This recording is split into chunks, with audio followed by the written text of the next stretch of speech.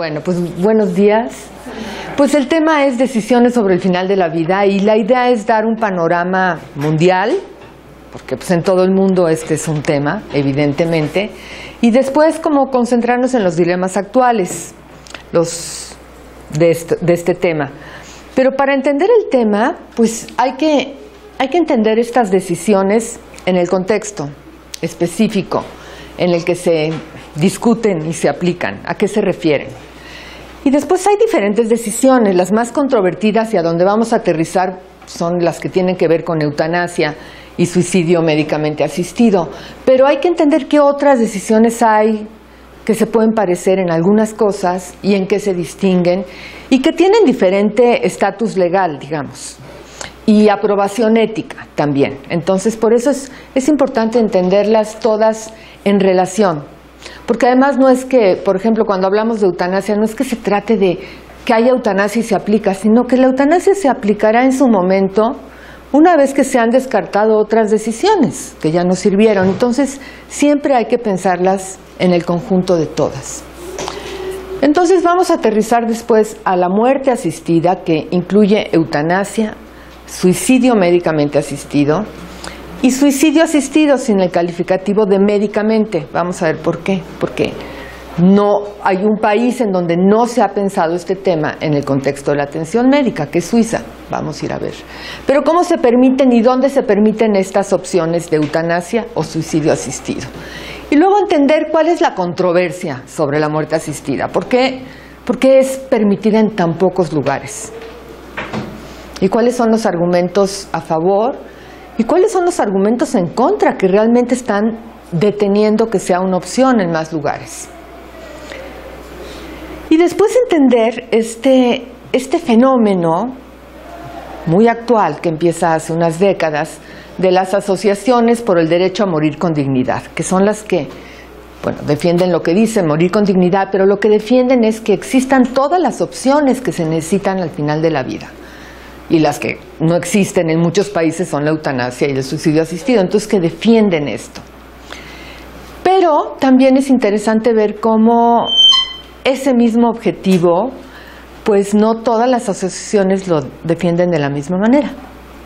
Y finalmente vamos a llegar a ver cuáles son los temas actuales más controvertidos, incluso en los países en donde ya se permite alguna forma de muerte asistida. Hay, hay situaciones que son necesarias, pero que no es tan fácil que también se permitan. Entonces, bueno, ese es el panorama general. Entonces, las decisiones sobre el final de la vida o al final de la vida es un tema que se da en el contexto de la atención médica. ¿Por qué? Bueno, ahí es donde se ha pensado, ahí es donde se ha planteado la necesidad. Y también ahí es donde muere la mayoría de las personas, atendidas por médicos. O sea, nos podemos morir por un accidente, por una bala que no nos tocaba, pero ahí no hay nada que elegir. Ahí es un hecho lamentable, nos morimos de un momento a otro y no tenemos opciones de decir qué hacer para que este final de vida sea lo mejor, qué podemos decidir. Pero donde hay mucho que decidir es en la atención médica al final de la vida. A veces en menos tiempo, es más, puede ser que alguien que tuvo un accidente llegue a, la atención médica y hay que tomar decisiones en muy poco tiempo. Y a veces son situaciones mucho más largas, como una enfermedad crónica que se vuelve terminal y entonces ahí podemos hablar de años y años en donde se plantean decisiones, hasta que estas tienen que ver con el final de la vida. Entonces, estas decisiones se dan en el contexto de la atención médica, por estas dos razones. Ahora, para hablar de decisiones, si no se lo dejamos solo a los médicos, que no es la idea, pues hay que saber sobre qué queremos decidir. Y ese sigue siendo un problema en muchos países, en unos menos, en el nuestro sí. A veces los pacientes no saben en qué situación están como para pensar qué decisión querrían tomar.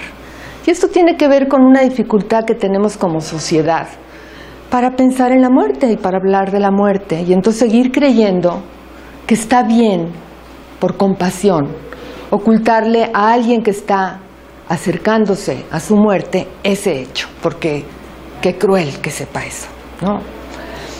es algo que, que no es que lo pensemos así, lo argumentemos, es algo que nos sale en automático, porque así es esta sociedad. Una sociedad en donde si sacamos el tema de la muerte, la, la reacción es como que aquí no hay que hablar de la muerte. Y yo no diría, bueno, al final de la vida sí, no tampoco. Entonces, claro, no quiero decir que todo el mundo lo haga eso, y lo que ha hecho que esto vaya cambiando, sobre todo, son experiencias muy dolorosas, en donde a lo mejor uno dice, esa persona no debería de haber tenido ese final de vida. Y entonces empieza a decir, cuando yo esté así me tienes que asegurar que me vas a decir. Y... Entonces estamos como en ese cambio, en ese cambio de una enorme negación a decir, esto, esto no ayuda, esto hace que la gente muera peor, hay que empezar a hacer cosas para que esto sea mejor.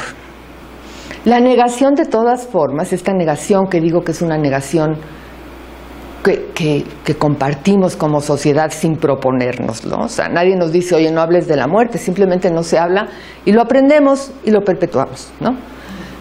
Y se refleja en la, formación de los médicos. Los, médicos estudian muy bien cómo son los procesos de enfermedad que llevan a la muerte, pero totalmente desvinculado del hecho de que van a tener pacientes con los que van a tener que tratar el tema de la muerte. Entonces es un poco como si no fueran a haber pacientes que se van a morir. Todo eso hace difícil las decisiones, con todo, y que bueno, es un tema que se viene desarrollando porque es necesario, es un hecho que hay que tomar decisiones. Y desde que se desarrolla la bioética queda claro que son decisiones que corresponden de una manera muy importante al que está viviendo esa situación y al que se está acercando al final de la vida. Entonces, bueno, hecha esa aclaración, o sea, de que todo lo que voy a decir y todo lo que tiene que ver con las decisiones y con la eutanasia, sobre todo cuando lleguemos a eso, tiene sentido si hay pacientes informados. Si no, pues estarán pidiendo más tratamientos que creen que les van a curar. ¿no? Entonces, bueno, las decisiones para qué sirven? Para tener lo que se ha llamado una muerte digna, y así se usa, y por eso también hay asociaciones por el derecho a morir con dignidad. Pero aquí mismo en México este es un pues, concepto que se viene utilizando ya desde 2017, quedó en la Constitución de la Ciudad de México el derecho a una muerte digna, como extensión de una vida digna, como extensión lógica. Y ahora mismo hay una reforma para para incluir en el artículo cuarto de la Constitución de todo el país el derecho a los cuidados paliativos para tener una muerte digna. Entonces, está bien, está bien que se busque que las personas mueran mejor, porque yo creo que lo que hay que entender, hay que definir qué entendemos por muerte digna, porque para algunas personas es eutanasia, para otras es cuidados paliativos, a mí me parece que hay que entender muerte digna como la mejor muerte posible, en donde se alivia lo, más posible el sufrimiento, porque hay sufrimiento al final de la vida, sobre todo si es causado por enfermedades que pueden hacer destrozos en el cuerpo, realmente que pueden crear, causar mucho sufrimiento. Entonces, una muerte digna será el mejor final de vida posible, porque hay mucho que hacer para aliviar todos los síntomas hay muchísimo si, se, si uno se plantea eso como objetivo, y siempre de acuerdo a los valores de la persona, que sea la persona la que va dirigiendo, es la persona la que puede decir esto es digno, esto es indigno, y finalmente al grado de poder decir puedo seguir viviendo, ya no quiero seguir viviendo. ¿no? Pero entonces está muy bien este ideal, aspirar a la muerte digna, pero hay que aterrizarlo y por eso creo que hay que entenderlo.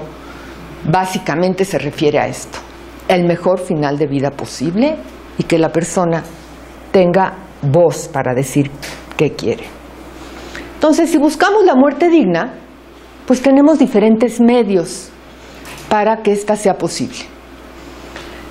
En primer lugar, diferentes decisiones médicas sobre el final de la vida, que ahora vamos a revisar, los cuidados paliativos, la voluntad anticipada, porque si, si digo que es muy importante tomar en cuenta lo que quiere la persona, hay situaciones en donde ya no lo puede expresar, pero mediante un instrumento de voluntad anticipada que haya firmado anteriormente, se va a poder seguir guiando las decisiones por lo que la persona quería, dentro de lo posible, ¿no? Porque una voluntad anticipada, pues uno no sabe exactamente en qué situación va a estar, pero puede decir lo más importante. Y después, en situaciones excepcionales, cuando estos medios no han sido suficientes, entonces es cuando debe aparecer la opción de la muerte médicamente asistida. Eutanasia y suicidio médicamente asistido. Ahora, para entender también todas las decisiones, también es importante eh, entender que en, en la atención médica al final de la vida tenemos diferentes escenarios. Tenemos pacientes conscientes y competentes que si están informados, pues son el escenario ideal. ¿Por qué? Porque el médico, la familia toman las decisiones con él. Él dice que, quiere, que no quiere. Pero también hay pacientes que pueden estar de manera, eh, en estado inconsciente y de manera irreversible. Entonces ahí, ahí ya no puede participar. O pacientes incompetentes, unos porque no han alcanzado ninguna competencia, otros porque ya la perdieron, como en la demencia avanzada. Y sobre todo hay que tomar decisiones. En la atención médica uno no se puede quedar así como, pues, a ver qué pasa. Hay que decidir todo el tiempo, hay que saber por qué se decide, cómo se decide. Y digamos que hay dos principios que básicamente guían estas decisiones. Buscar el beneficio, aunque no siempre hay acuerdo de que es beneficio, sobre todo en el final de la vida hay una gran confusión que tiene que ver con nuestra dificultad para aceptar la muerte, en donde sigue persistiendo la idea equivocada de que más vida es el beneficio siempre, siempre hay que optar por la vida y no, a veces más vida es daño, es un daño, es tortura, ¿no? Pues sí, provocar algo que resulta de gran indignidad para la persona. Entonces, aunque sea muy fácil decir hay que buscar el beneficio, no siempre es tan fácil acordar cuál es el beneficio. Y después, respetando su autonomía, si aplica. En el caso de los bebés es el caso más claro en donde no hay autonomía, ahí pues están representados por sus padres. ¿no? Yo ahí tengo una duda, ¿puedo sí. ¿Ay, sí? Sí, gracias. No, no lo puedo explicar. Sí, sí, sí, sí, sí, sí. No, no, no. No, si hace falta para... En ese punto que Ah, sí. Gracias. Este, justo mi duda es sobre ese último punto que, que lo acabas de mencionar, sí, un poco rápido y también en la parte incompetente de recién nacidos y avanzada. Si, si esta competencia o esta autonomía en realidad depende de la mayoría de edad y entonces tenemos ahí como, o sea, ¿de qué depende? ¿De qué estamos hablando en esa competencia? ¿Es legal o, pues no, hay como que la parte ética, la parte legal, la parte psicológica. Se da mucho en la atención médica al final de la vida que hay menores, sería el caso más representativo porque los con una demencia avanzada sí puede haber acuerdo de que ya no, es parte del diagnóstico, de que ya no hay capacidad para tomar decisiones con conocimiento, con juicio, ¿no? que no hay comprensión. A lo mejor puede haber momentos de lucidez, porque así es la demencia, pero no sostenidos como para tomar decisiones. Y los bebés, claramente no. Pero los menores, y esto es muy variable, la edad, o sea, por eso vamos a ver cuando lleguemos a, ver la eutanasia, como hay países que está permitida para menores, aunque no tuvieran desde el punto de vista legal el reconocimiento de su competencia, no podrían votar, por ejemplo, no han alcanzado la mayoría de edad. Pero en la atención médica, la experiencia ha mostrado, y les queda claro al personal de salud, que hay menores que, bueno, tienen una gran madurez, cuando han estado enfermos, recibiendo atención y pues se han hecho preguntas que a lo mejor los adultos ni siquiera nos hemos hecho.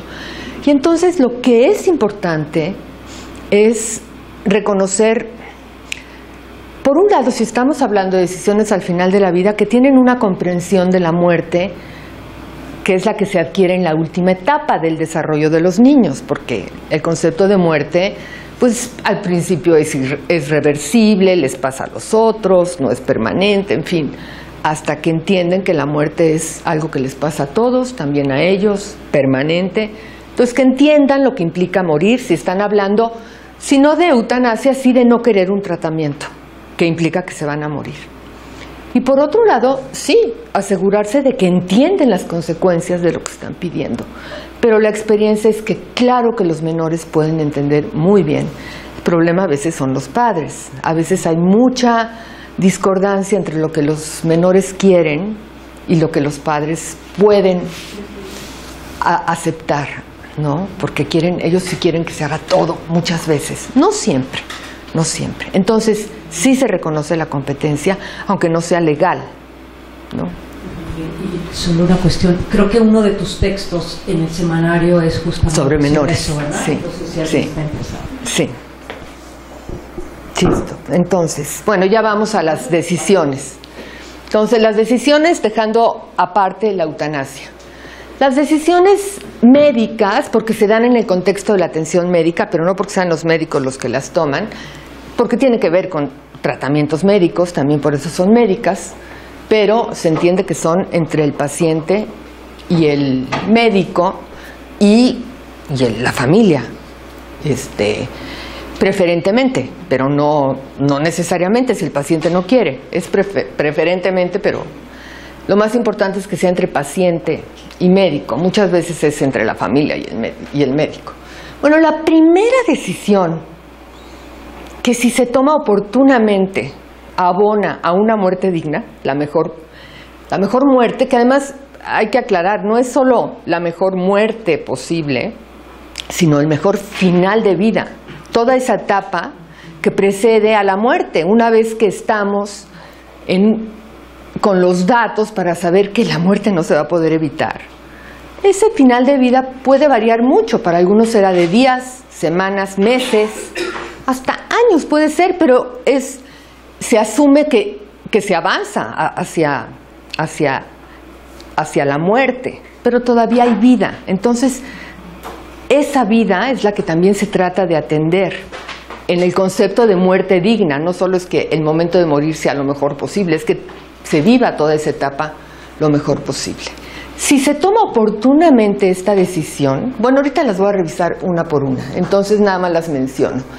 Son suspensión de tratamientos que ya no son curativos, como una quimioterapia, que ya, de- ya hay datos para ver que no está curando, suspensión de tratamientos de soporte vital, o sea, están sustituyendo una función vital, rechazo al tratamiento, intervención de los cuidados paliativos, porque una cosa son los cuidados paliativos y luego hay que entender dos intervenciones en especial que son pueden ser controvertidas de los cuidados paliativos y que están relacionadas también con el final de la vida. Pero de todas estas hay consenso ético en la mayoría de los países y son legalmente aceptadas. No con toda la claridad que necesitaríamos en México, ahorita lo vamos a ir viendo, pero, pero bueno, podemos decir que esto ya se puede.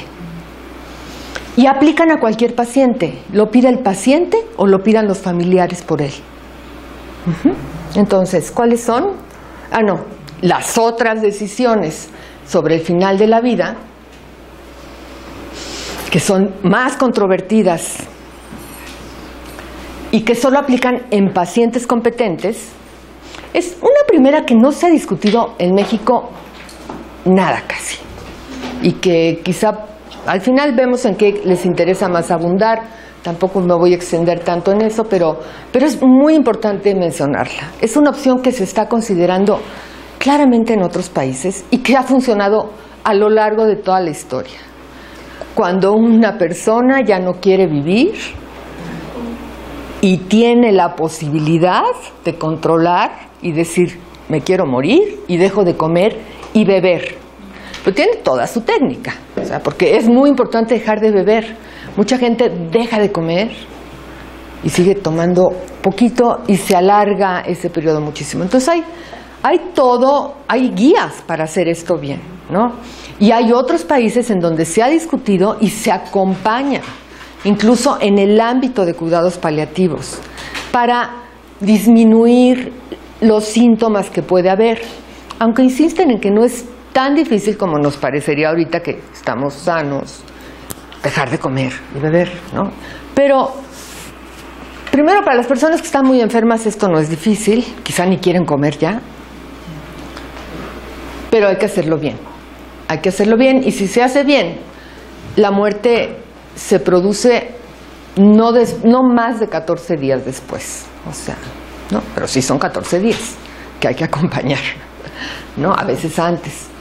Y el otra decisión sobre la que hay controversia ética y legal en muchísimos países, incluido el nuestro, es la muerte médicamente asistida, la eutanasia y el suicidio médicamente asistido.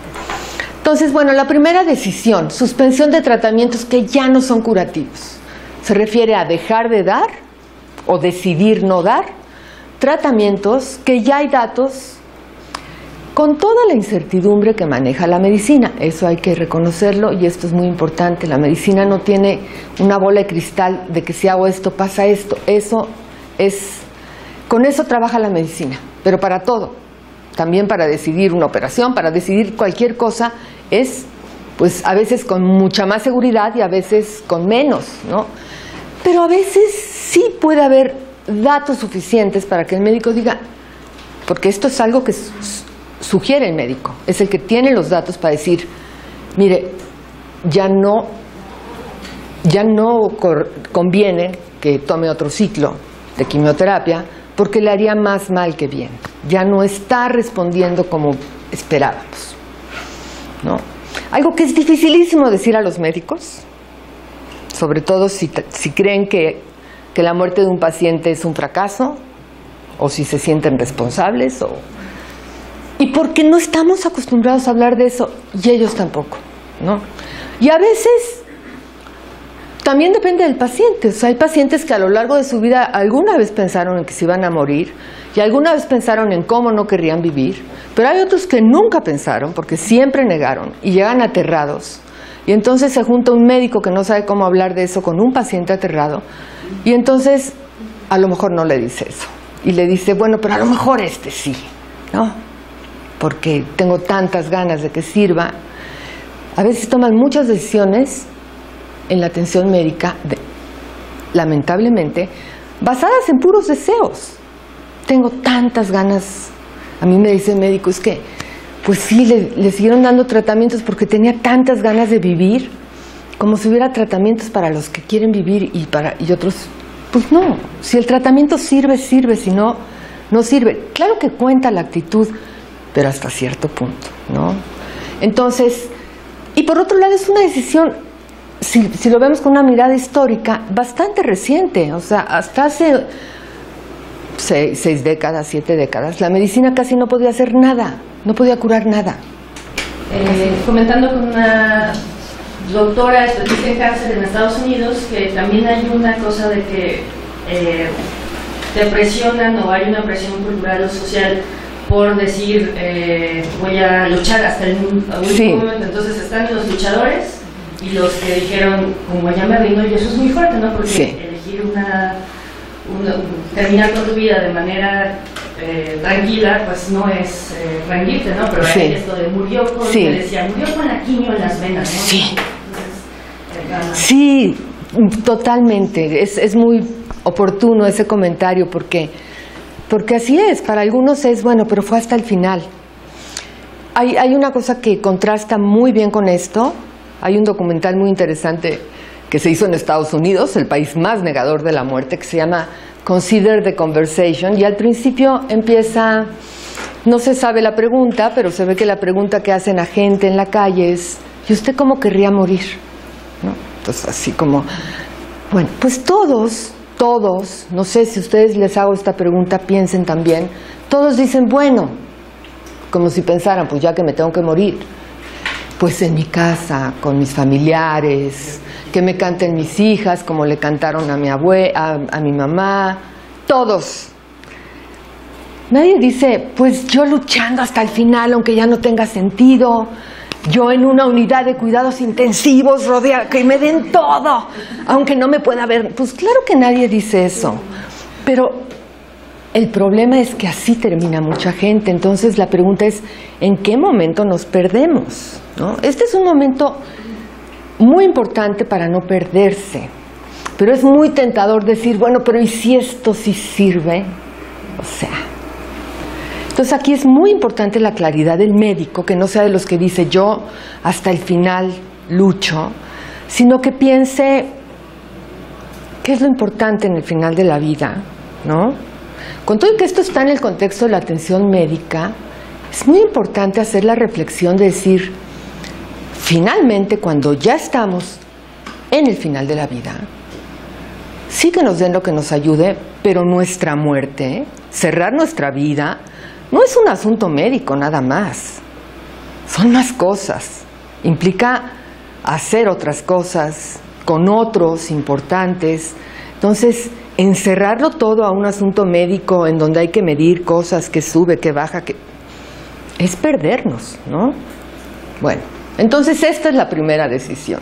Bueno, eh, mire, eh, este tema es eh, eh, está bien enfocarlo, digamos, desde la perspectiva, digamos, de la psicología individual, del paciente del médico, etc.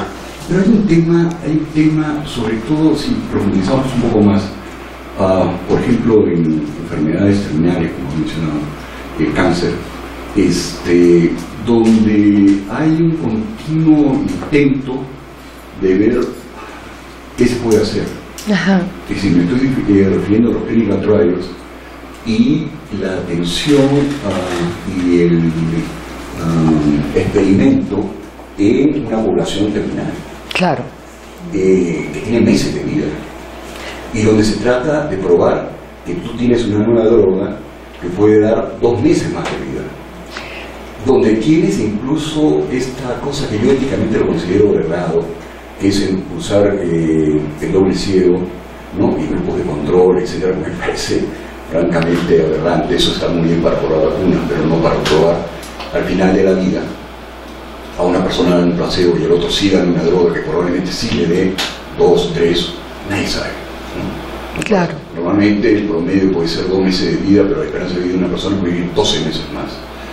Eh, esas decisiones son éticamente muy difíciles. Muy complicadas, yo también Desde creo. el tema mismo de aplicar el, procedimiento de los clínicos actuales a eso, eh, de escoger eh, los grupos de control y de trabajar y proveer este tipo de drogas para saber qué funciona. Porque de otra manera tampoco sabría si funciona. Claro, el conocimiento así avanza, Ese es el, eso es también importante.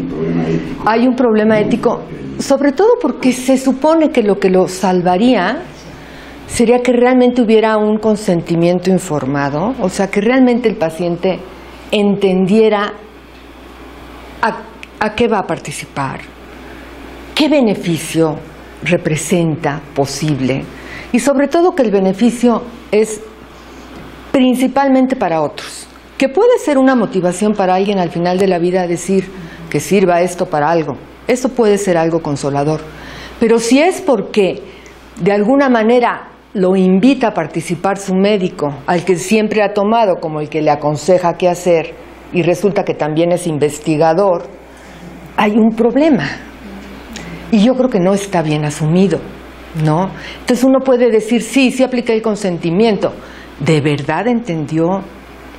Hay un dato bien interesante. No, no quiero decir que todos, pero ha, habido así testimonios de médicos que dicen, ¿cómo mueren los médicos? Los médicos no hacen con ellos mismos muchísimas de las cosas que hacen con otros, porque tienen el conocimiento. Entonces ese conocimiento lo tienen que compartir para dar el mismo poder a los pacientes, ¿no? Ellos, ¿para qué hacer todo esto? Si la diferencia va a ser nada, nada en cuanto a ganancia y muchísima en cuanto a cómo voy a vivir. Entonces, no, no hay pacientes de dos categorías, ¿no? Lo que necesitan es ese poder del conocimiento. Pero sí, y, por otro lado está el problema de que sí necesitamos que siga así avanzado el conocimiento con la investigación, pero tiene que ser respetando mucho más a los pacientes. La otra decisión también se refiere a suspender tratamientos, pero aquí ya estamos hablando de tratamientos que están sustituyendo una, la función de un órgano vital, ¿no? Entonces, cuando uno deja de tomar, de recibir una quimioterapia, a lo mejor puede tener meses de vida, y mejores, ¿no? Pero aquí la relación con la muerte es inmediata, porque una vez que no se tiene esa sustitución de la función vital, pues sí, se va a producir la muerte. También aquí nuevamente se entiende que es el médico el que tiene los datos para decir, esto ya no representa un beneficio, es, todos estos tratamientos que son ejemplos, que pueden ser muy útiles y que pueden servir para que una persona recupere una vida mejor o que se quede así, pero, pero asumiendo que así quiere estar. Hay personas que viven con un ventilador este, permanentemente y está bien para ellas. Las menos, pero hay quien sí. ¿no? Pero muchas veces estas solo están impidiendo la muerte que tiene que llegar. Es como parando la muerte, como haciendo que todavía no llegue, postergando, postergando la agonía muchas veces, postergando un final de vida en donde ganar días, horas, lo que sea, semanas, no es un beneficio por las condiciones en que se dan. ¿no? Entonces, esta es lo que ahora se conoce como limitación del esfuerzo terapéutico. Las mismas unidades de cuidados intensivos caen en esto, porque estas pues se inventaron para que la gente pudiera recibir intensamente todos los tratamientos y regresar a una mejor situación. Y ahora se están usando como ya, como se van agotando, el lugar en donde muere la gente, porque es lo último que se le puede dar, aunque no sirva. Claro, a veces no, no está tan claro, pero a veces sí está más claro.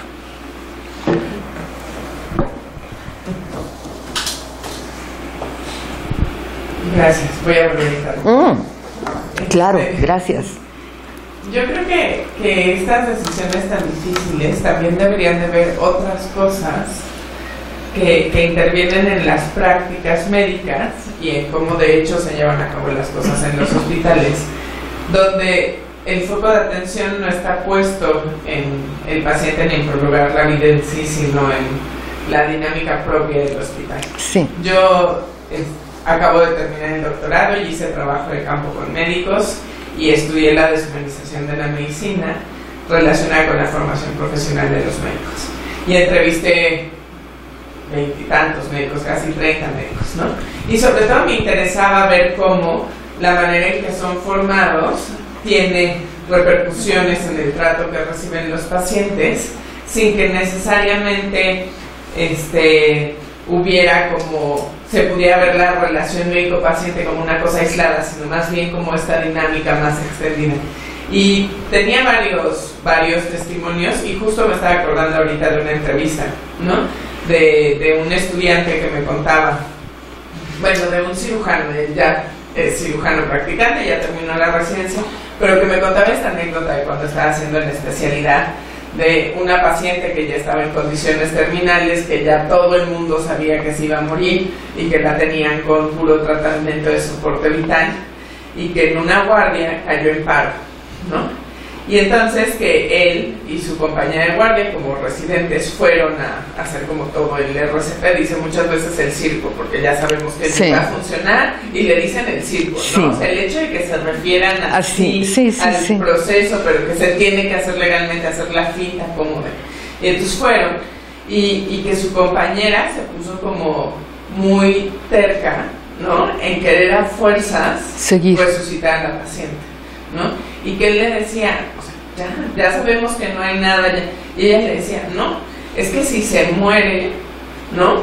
Es muchísimo más papeleo ahorita para nosotros, no vamos a dormir y va a llegar el médico mañana y nos va a regañar porque cómo se nos murió la paciente en la...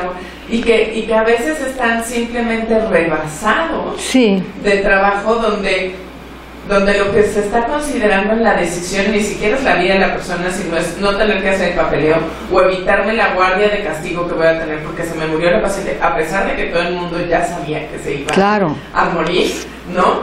Y, y también hay este meme, porque dice etnografía virtual, ¿no? Este meme que se comparte entre médicos de, de primera lección que aprendes en el R1, ¿no? Pasar tu paciente cirugía medicina interna cuando ya se va a morir para no tener que hacer todo el papeleo, ¿no? Y, y es un chiste, o sea, es- los memes son chistes que se comparten entre memes y que tiene este sentido de lógica donde están jugando muchas otras cosas que tienen que ver con la cultura de la educación médica, donde esto, que, que el dilema ético está dejado ¿Quién sabe dónde? de lado y que, Sí. y que es muy importante también tomar en consideración en estas discusiones porque si ni siquiera el punto de discusión o de enfoque está bien puesto, ¿no? Sí, es la muerte de uno, de un paciente, que puede ser la nuestra, si no somos médicos, se, se ve como un problema para los demás. O sea, en estas situaciones, que lamentable, porque es un pro- problema que hay que evitar. Cuando la muerte es el final de toda una vida en donde lo que, lo que necesita esa persona es otra cosa. Hay un médico, Stuart Faber, que que escribió un, artículo muy, muy bueno, que él tuvo le- leucemia, su esposa tuvo leucemia, él tuvo leucemia, y total que él ya vive el final de su vida en- con atención médica en un hospital. Pero dice, como médico, esto, yo me doy cuenta que aquí cada quien tiene su mundo. Está el mundo de los médicos que sigue una lógica y hacen lo que tienen que hacer y, y las necesidades de los pacientes y no se tocan. No se tocan. O sea, lo que necesita un paciente ni lo sabe el médico, ¿no? Entonces sí, eso, pero viene desde la educación, la formación y la manera en que, en que trabajan, o sea, cómo están organizadas las instituciones, sí son tremendamente, bueno, en contra de la dignidad. O sea, todo esto que hablamos de dignidad tiene que ir acompañado de cambios en cómo funcionan, la jerarquía que hay, la agresividad que hay, el no, o sea, son pésimas condiciones. De veras necesitan tener una capacidad y una reflexión para no, para no verse absorbidos en todo eso y mantener la humanidad y la empatía. Pero bueno, todo tiene que cambiar. También pacientes más informados y familiares más informados y que exijan más y que sepan que tienen que exigir, porque también hay algo de dejar todo en los médicos y no, no es buena idea, ¿no? Pero sí, eso es muy lamentable y sí se favorece. Ahora, las decisiones anteriores las plantea el médico y busca el acuerdo de los familiares o del paciente. Del paciente si está consciente, sino de los familiares. Pero puede haber situaciones en donde el médico ofrezca un tratamiento que cree que todavía vale la pena seguir, sea curativo o sea de soporte vital, y el paciente es el que no lo quiere, por lo que implica vivir con ese tratamiento, los efectos de ese tratamiento. Entonces, si es un paciente que entiende bien lo que está diciendo, tiene todo el derecho a rechazarlo, y si se trata de rechazar algo que necesita para vivir, pues entiende que se va a causar la muerte y, tiene el derecho de hacerlo, y hay la obligación de respetarlo. Por eso, esta decisión correspondería a lo que antes se llamaba eutanasia pasiva, una decisión del paciente de no querer algo, o que le quiten un tratamiento y que con eso sabe que se va a morir. Ya eliminamos todas las clasificaciones de eutanasia para fines de claridad, ahorita lo vuelvo a decir, esto sería un rechazo al tratamiento y si ahora también, como se ha favorecido desde con el, la reflexión de la bioética, ya no estamos en un modelo de atención o no deberíamos estar en un modelo de atención en donde paternalista, en donde el médico sabe lo que necesita el paciente y con que lo diga está bien. No, ya estamos en un modelo que reconoce la autonomía del paciente y por eso ya se supone que todos los tratamientos, bueno, son importantes, no, cualquier cosa que se le tiene que hacer a un paciente para cuidarlo. El médico lo propone y el paciente lo acepta con la información necesaria, por eso tiene que dar su consentimiento informado, de manera que si no lo da, es un rechazo informado y es otra decisión que está reconocida como ética y legalmente. Y después pasamos al otro medio que dijimos. Primer medio para conseguir que la gente muera lo mejor posible, estas decisiones. El siguiente medio son los cuidados paliativos, que acompañan cualquiera de estas decisiones y que cada vez se dice más con razón. Los cuidados paliativos surgen en un contexto de ver qué hacer con pacientes terminales, cuando no se sabía qué hacer con ellos y entonces o se les seguía tratando de curar o se les abandonaba. Así surgen. Surgen a través de los primeros hospices que se fundan en, en el Reino Unido para atender a este tipo de pacientes en donde se busca darles calidad. Y con estos hospices surgen los cuidados paliativos. Pero se entiende ahora y se va defendiendo, no quiere decir que solo los que se van a morir tengan derecho a, a que les den algo para aliviarlos. Cualquiera que necesite a lo largo de su atención médica alivio de algún síntoma, pues también, o tiene derecho a los cuidados paliativos, ¿no? Pero bueno, sobre todo en, la- en el contexto del final de la vida, son muy importantes. Justo cuando ya no se va a hacer esto, no se va a hacer esto, no se va a hacer esto, lo que se va a hacer es darle calidad de vida, atender mediante un equipo interdisciplinario como las diferentes dimensiones del ser humano, ¿no? Las físicas, desde luego, porque sí hay síntomas que son terribles, pero también las psicológicas, las sociales, las familiares. De hecho, se entiende que se toma al paciente y a la familia como objeto de atención, no se les separa. Y las espirituales, ¿no? Porque estamos en el final de la vida. Entonces, estos son los cuidados paliativos en, en- en- en breve, diciendo, y cada vez oímos más de eso, y ahora se está discutiendo una reforma para incluirlos, o sea, se han hecho muchas leyes para que haya cuidados paliativos, y ahora como que, pero no se ha dado suficiente formación, no ha habido cambios de actitud, no, no ha habido lo que se necesita hacer, no se ha se han tomado medidas eficientes para que haya los medicamentos controlados que se necesitan. Entonces ahora se quiere cambiar el artículo cuarto como si con eso se solucionara. Bueno, es una buena intención, pero tiene que ir acompañado de todo lo que se necesita. Pero bueno, cada vez escuchamos más de cuidados paliativos, porque se reconoce que en el final de la vida ya no hay que curar lo que no se puede curar, hay que hacer lo que puede ayudar. Ahora, hay dos intervenciones que son más controvertidas.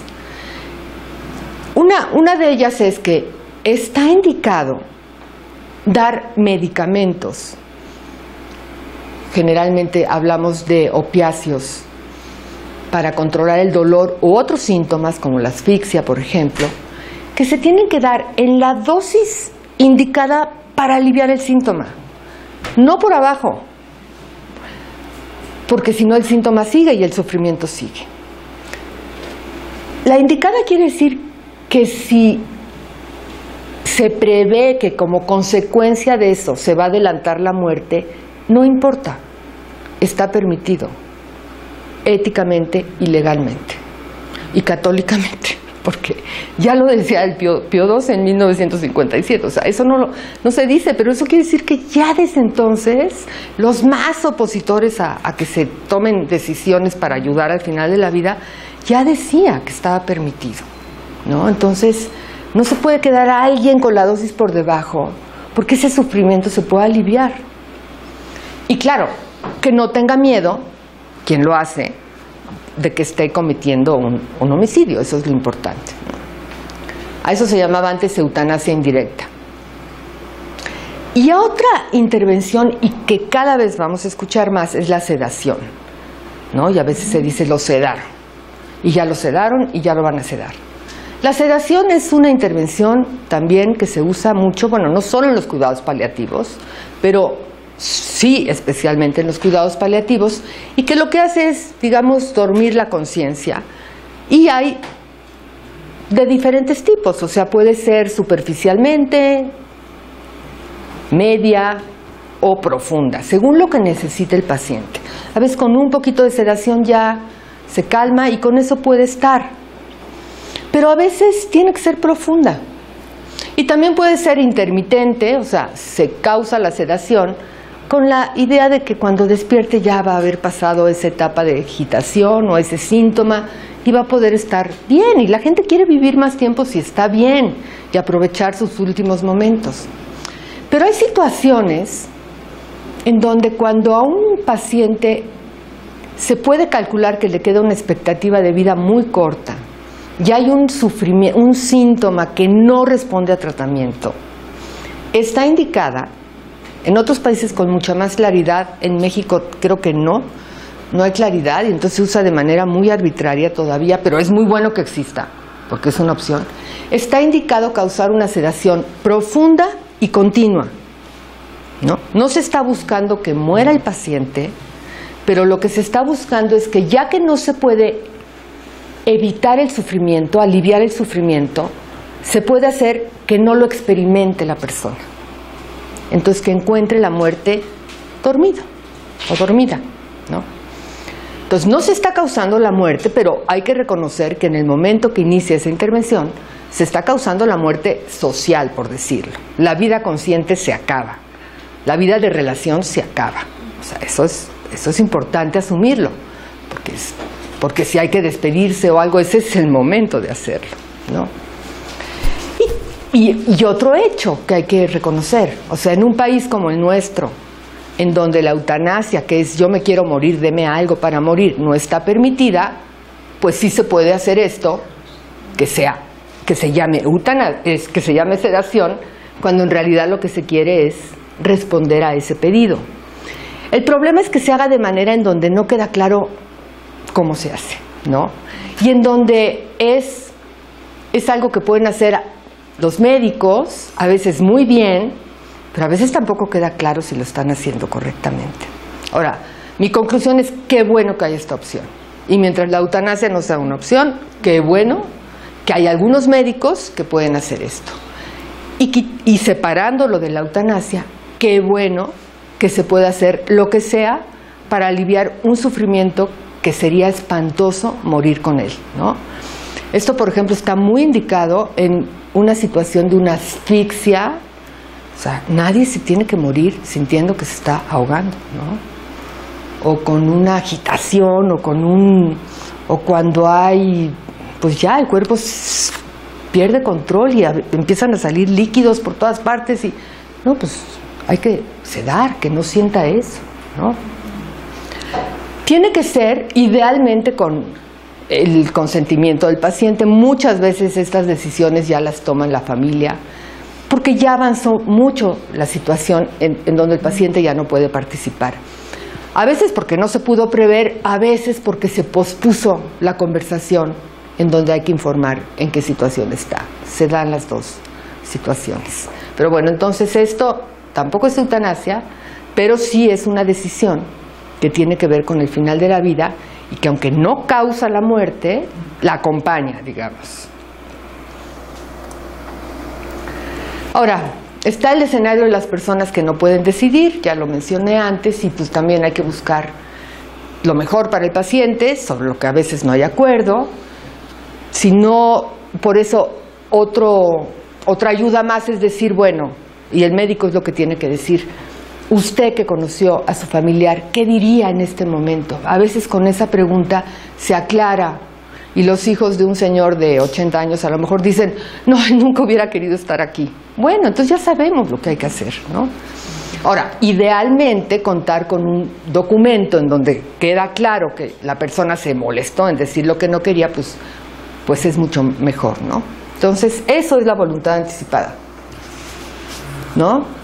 La voluntad que establece una persona cuando está competente preferentemente en un documento, sobre lo que querría y no querría en caso de encontrarse en una situación en que no pueda ya decir que quiere. Y otros deben de decidir. Claro, con la certidumbre que uno tiene, si uno lo hace cuando está muy sano, no tiene ni idea a qué situación se va a referir. Es posible que ni se necesite, o sea, la verdad es que no se sabe si se va a necesitar o no. La voluntad anticipada se hace siempre por si acaso. Porque si llego a estar en esa situación, qué problema para los que tienen que decidir. Y qué miedo que me sometan a una condición en donde, aunque ya no me dé cuenta, a mí me parece ahora muy indigno poder estar así. O sea, si yo me quedo en un estado de inconsciencia permanente, ya ni me voy a enterar. Pero la idea, ahora que sí tengo intereses críticos, de que eso me pase, sí me resulta algo que quiero tener control para que no me pase. ¿no? Esa es la idea de la voluntad anticipada. Hay, hay un comentario. Ah, sí. Gracias. Sí, en cuanto a esto de la voluntad anticipada, mi mamá y su hermana había estado muy eh, con la inquietud de firmar este documento de voluntad anticipada. Entonces yo fui a un notario para preguntar pues cómo era el trámite, etcétera, ¿no? El trámite cuesta, eh, cuando pregunté 3.500 pesos, algo así, eh, me dio un formato para que pudiéramos leer qué contiene esa voluntad anticipada y yo estoy pues como en un dilema ético porque viene así literalmente de todo lo que estabas presentando. Si quieren someterse a un tratamiento eh, hasta como las últimas consecuencias de esfuerzos médicos, algo así.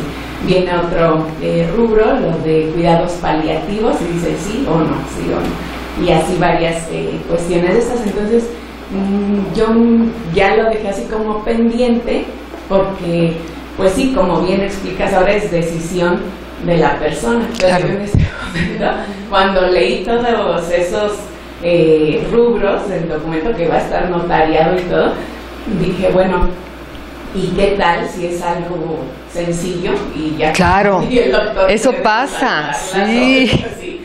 Entonces, pues ahí ya, este sí entra como el dilemático en mí, que pues soy laica y mi mamá si quiere firmar eso y yo no quiero que firme. Claro, es que...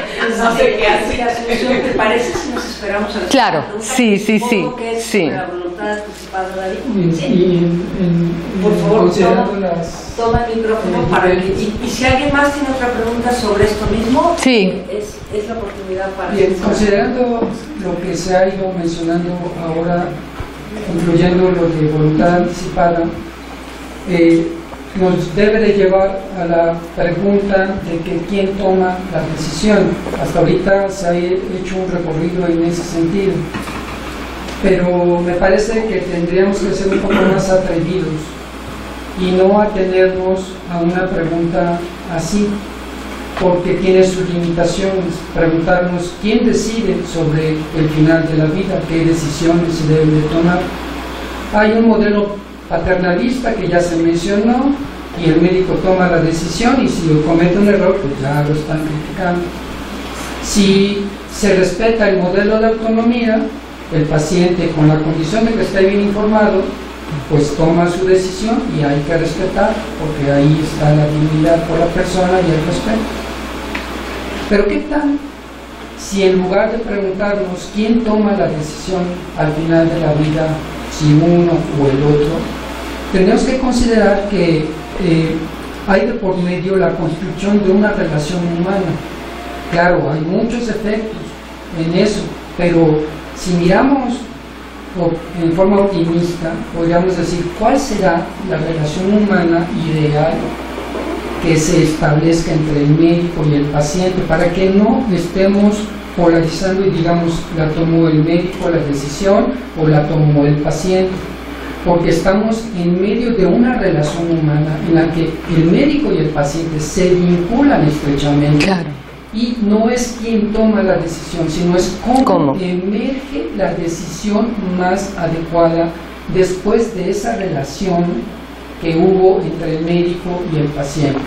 Muchas veces el paciente puede eh, preguntarle directamente al médico, ¿y usted qué haría, doctor?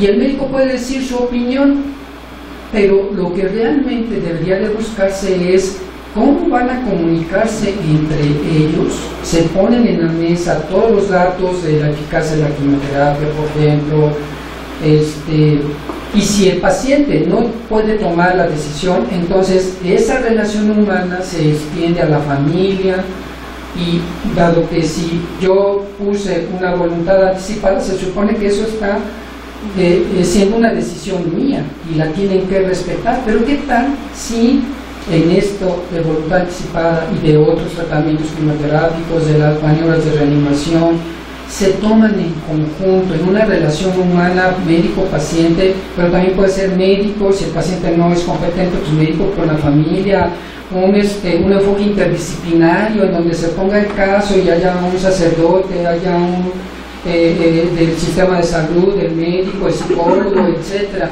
Creo que hay necesidad de un enfoque completamente diferente, en donde se tomen multidimensiones en este problema y eso sí induciría a una práctica más integral, interdisciplinaria, en la que la decisión emerge, no es quién la toma, sino cómo emerge. ¿Cómo se toma? Muchas De gracias. acuerdo. Eh, ¿Alguien, algún comentario muy breve sobre este mismo punto o ya nos puede eh, comentar doctora? Bueno, sobre la primera pregunta, eh, la verdad es que la voluntad anticipada, hay una ley de voluntad anticipada en el, en el Distrito Federal, fue el primer, la primera ley que hubo al respecto, de 2008, y fue un problema enorme porque se llamó mal. O sea, esa ley, cuando uno la revisa, se estaba refiriendo a que los pacientes pueden rechazar tratamiento, pero ese que vimos en donde una, donde una persona está consciente y competente y dice yo ya no quiero, a eso se refería la ley. ¿Por qué los legisladores se les ocurrió llamar a eso voluntad anticipada? ¿Quién sabe? Porque no hicieron bien su tarea, pero aunque son cosas que se relacionan con decisiones al final de la vida, son cosas diferentes. Una cosa es la voluntad anticipada, como ahorita la estamos definiendo, la que yo hago por si acaso se necesita, y otra cosa es el rechazo al tratamiento. Luego, las autoridades encargadas de- de cuidar la aplicación decidieron, bueno, pues sí, es un error, que esta ley sirva para las dos cosas, para el rechazo y para la verdadera voluntad anticipada. Y más o menos se solucionó diciendo, a la voluntad anticipada, que además fue un error decir que tiene que ser ante notario, porque eso complica mucho que la gente lo haga. Bueno, a la voluntad anticipada le vamos a llamar documento de voluntad anticipada. Al rechazo al tratamiento que tienen las personas le vamos a llamar formato de voluntad anticipada. Es un relajo, es una confusión enorme, ¿no? Entonces fue un avance porque fue decir, vamos a respaldar las decisiones de las personas, pero lo hicieron muy mal y no se ha arreglado, ¿no? Entonces los notarios que los metieron en esto, pues ahí más o menos les llegan solicitudes y cada quien se las arregla como puede, ¿no? Y se sigue dando el formato que se llama formato voluntad anticipada para rechazar tratamientos. Qué bueno que se pueden rechazar tratamientos y que se reconoce y que se tiene que firmar un documento, pero queda muy desprotegida el- la voluntad anticipada. Ahora, ¿qué es lo importante de la voluntad anticipada? Lo que, lo que decías, o sea, y esto hay un amigo que es neurocirujano de tórax y que dice, a mí me llegan familiares y me dicen, no, mi mamá no quería intubación, pero ¿cómo? La intubo, se lo quito y sale, ¿no? Entonces, una voluntad anticipada empieza diciendo, bueno, si se dan tales condiciones como enfermedad terminal, como una demencia avanzada, como o, o similares, en donde los médicos saben que no hay posibilidad de mejoría, que no hay forma de recuperar un estado, entonces quiero. Y así empieza. La voluntad anticipada es importante hacerla discutiendo desde luego con el médico, ¿no? Yo cuando hice la mía, o sea, el médico, un médico, este mismo amigo, pues sí, me, ubicó para concretarla lo más posible, ¿no? Diciendo, si pasa esto, si estoy ya así, ¿no? Y lo otro con los familiares, y con todos, porque si alguien solo le cuenta a uno de los familiares que quiere, pues esa persona va a tener problemas con todos los demás. Mi mamá no quería esto, ¿no? Que implica que se muera. Pues no, tienen que saberlo todos los que podrían estar ahí en ese momento queriendo tomar decisiones o influyendo. Entonces, la verdad yo no la he llevado ante notario. Ah, Es un poquito como de rechazo a esa imposición. Este, aquí dicen es que en México sí conviene porque somos tan desconfiados de todo. Pero bueno, Pero creo que cuando la llevas ante el notario hay un designado legal Ajá. que es el que se hace responsable del cumplimiento. Porque mi mamá la tiene ante el, al- ante el notario y yo soy la designada legal, donde yo soy la que voy a decir al final lo que se hace, independientemente de lo que diga toda la familia. pero la que debe decir quién es el designado es la que la hace. Ajá, Ah, mi mamá, o sea, el notario le dijo, tienes que elegir un designado Ah, ok. legal porque luego la familia no quiere y tal. Claro. Y entonces yo tuve que ir con ella a la notaría y yo firmé como responsable legal para asumir el cumplimiento de todas esas Está cosas. bien. Entonces eso que, Está que bien. comentando ahorita, o sea, también está Pero que lo sepan todos los ley. demás. Sí, o sea, lo saben los demás, pero aunque no lo supieran, como ya está ante la ley. No, la pero- decisión, No, Digo, no sé. la ley ya, la ley cuenta mucho, o sea, sí lo tengo que hacer, pero hay que volver a ubicarnos en el momento. Ni, ni es un asunto solo médico, ni solo es un asunto legal, es el final de la vida. Mientras más armonioso sea y todos digan, sí, lo que tú estás diciendo en su nombre, me queda claro que era lo que quería, si nos lo dijo, lo sabíamos, ¿no? Porque aunque no tengan voz legal, pues sí les afecta también la decisión. ¿no? Entonces lo ideal es que todos los que estarían ahí lo sepan, ¿no? Y lo ideal sería que, que hubiera registro de todos para que llegando a cualquier institución, ahí se ve, porque a lo mejor la persona no llega con la voluntad, pero uno ya la puede ver ahí. En fin, falta trabajar más la voluntad anticipada. Sí, yo la pregunta que tengo en este contexto, ¿qué es otro instrumento, eh, bueno, al menos es el que mi familia tenemos que se llama testamento de vida? Es, es- es Es- otro nombre, es- es, es eso. Así empezaron a, a llamarse en Estados Unidos y luego se dijo, bueno, como testamento se abre después de la muerte, no es el mejor nombre, pero es exactamente eso. Y así se desarrollaron, por situaciones en donde fueron jóvenes, sobre todo, que caían en un estado de inconsciencia permanente. Los padres querían que ya no les dieran tratamientos y los jueces decían, nosotros tenemos que defender la vida, es nuestra obligación. Si hubiera dicho eso esa persona, ok, y así se empezaron a fomentar su uso, ¿no? Entonces, bueno, pero yo creo que sirve mucho hablar de esto en vida, porque lo que es importante es que en ese momento, cuando se tomen las decisiones, se pueda uno apoyar en lo que quería la persona. Si está escrito, mucho mejor. Pero si no está escrito, también en lo que se decía en vida. Yo nunca querría vivir así. A mí nunca me gustaría. Eso ayuda, ¿no?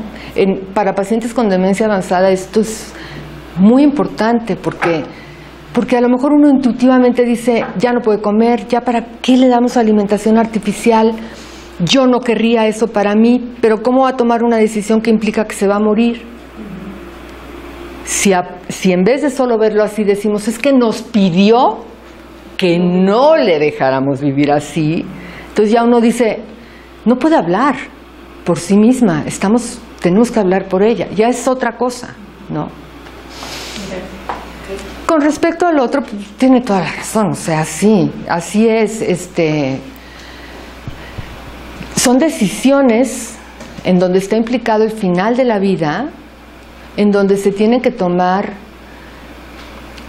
con todo el conocimiento que se, el conocimiento para saber qué quiere uno se obtiene a través del médico, como decía antes, por eso los médicos toman unas decisiones diferentes para ellos, ¿no? Se tiene que tomar también, yo creo que es ideal que un médico fomente esa conversación con su paciente, porque así lo van construyendo a lo largo de, la relación que se va estableciendo. Se complica mucho al no poder hablar de la muerte, ¿no? Introducir esto un médico en donde el paciente diga que no me va a poder curar o por qué me está haciendo estas preguntas. Entonces, no, pero también con la familia. Entonces sí, tendría que ser así, o sea, decisiones que se construyen y que se toman se toman con todo el conocimiento y tomando en cuenta los que están implicados también, que son los familiares, ¿no? A veces los familiares igual no las aceptan porque a veces tenemos diferente manera de a veces los familiares se aferran a la vida de una persona que ya no quiere esa vida, en fin, mientras más se hable en la vida de esto, mejor se van a poder tomar las decisiones, pero pues básicamente sí, estoy de acuerdo, creo que lo, lo está planteado muy bien, lo planteas bien.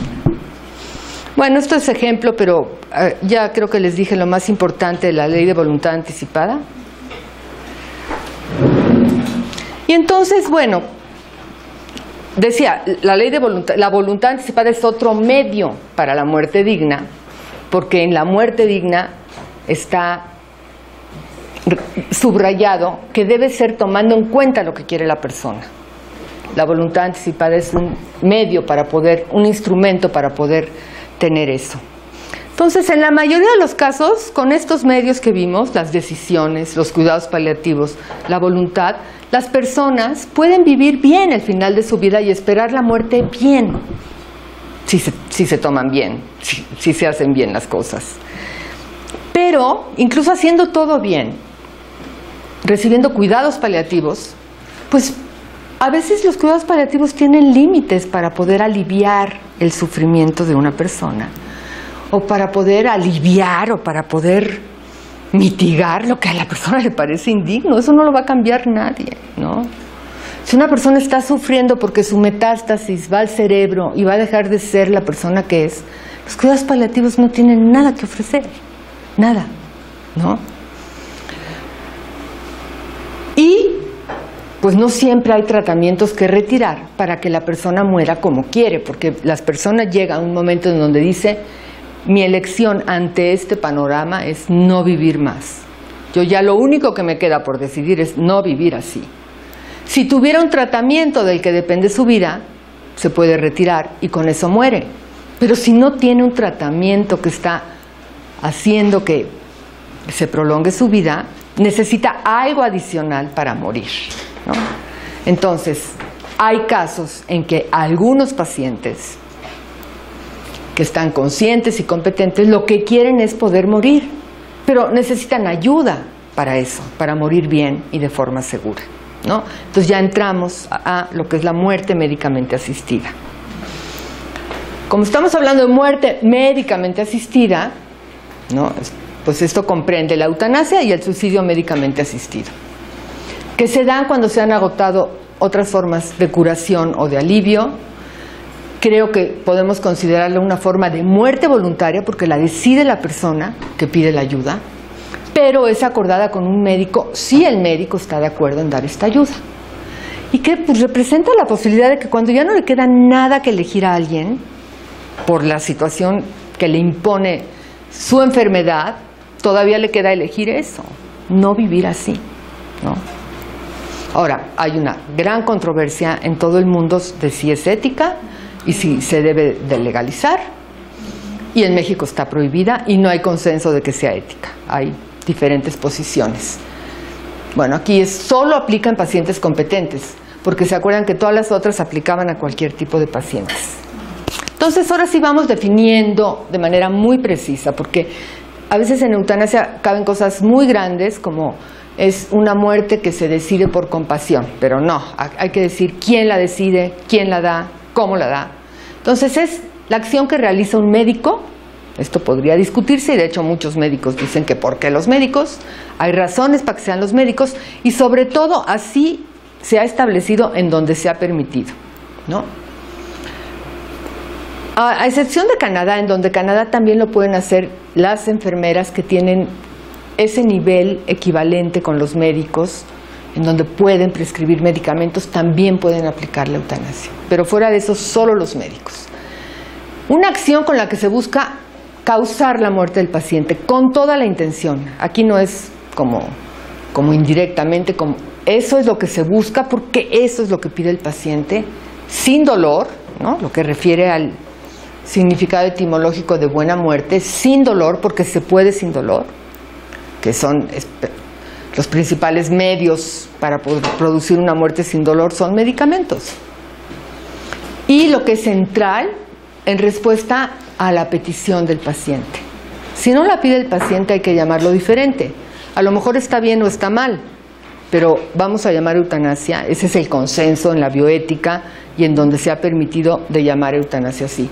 Aunque cada vez y en muchos países buscan llamarlo de una manera en donde no tenga que ir este concepto, porque, pues porque se ha entendido mal, porque para muchos tiene una connotación negativa, entonces hablan de medical aid in dying, por ejemplo. Entonces sí se busca como que sustituirlo, pero bueno, para entender las acciones, aquí vamos a llamarlo así, ¿no? Y, y, y, hay lugares en donde no tienen ningún problema de llamarlo así, como en Holanda. Se llama eutanasia y todo el mundo sabe lo que es eutanasia. Y bueno, por definición es activa, directa y voluntaria. De manera que no hay que aclararlo, porque la eutanasia es así. Y ya todas esas clasificaciones de eutanasia activa, pasiva, directa, ya las queremos superar, porque confunden. Muy parecida a la eutanasia es el suicidio médicamente asistido. Es también la ayuda que da un médico a un paciente respondiendo a la solicitud, proporcionándole, en lugar de realizando la acción, proporcionándole los medios para que también muera sin dolor, para terminar con un sufrimiento intolerable o una vida indigna, y es el paciente quien realiza la acción final que causa su muerte. ¿no? Ahora, si definimos suicidio asistido, es lo mismo, pero fuera del contexto médico. O sea, la ayuda no la tiene que dar un médico. Los medios no tienen que ser necesariamente médicos, aunque preferentemente son los que se usan porque son los más eficaces, pero no son los únicos que se usan. Y la motivación para terminar con la propia vida no necesariamente es una enfermedad. Todo eso quiere decir suicidio asistido en general, o sea, fuera del contexto médico. Hablando de la muerte asistida en general, ¿en dónde se permite en este momento, en el mundo? Esta es la situación. La eutanasia se permite en Holanda, Bélgica, Luxemburgo, Canadá y Colombia. Solo cinco países. El suicidio médicamente asistido se permite en ocho estados de Estados Unidos. Este se empezó, era, entró con la vigencia de la ley en este mes, principios de agosto, y ahorita ya hay una demanda de, un, de, de una persona muy religiosa que dijo no, eso va en contra de mí porque yo no puedo, no puedo aplicar, pero tampoco puedo referir si yo no quiero. Y entonces ahorita está en suspenso porque llegó esa solicitud. Así, así, así está.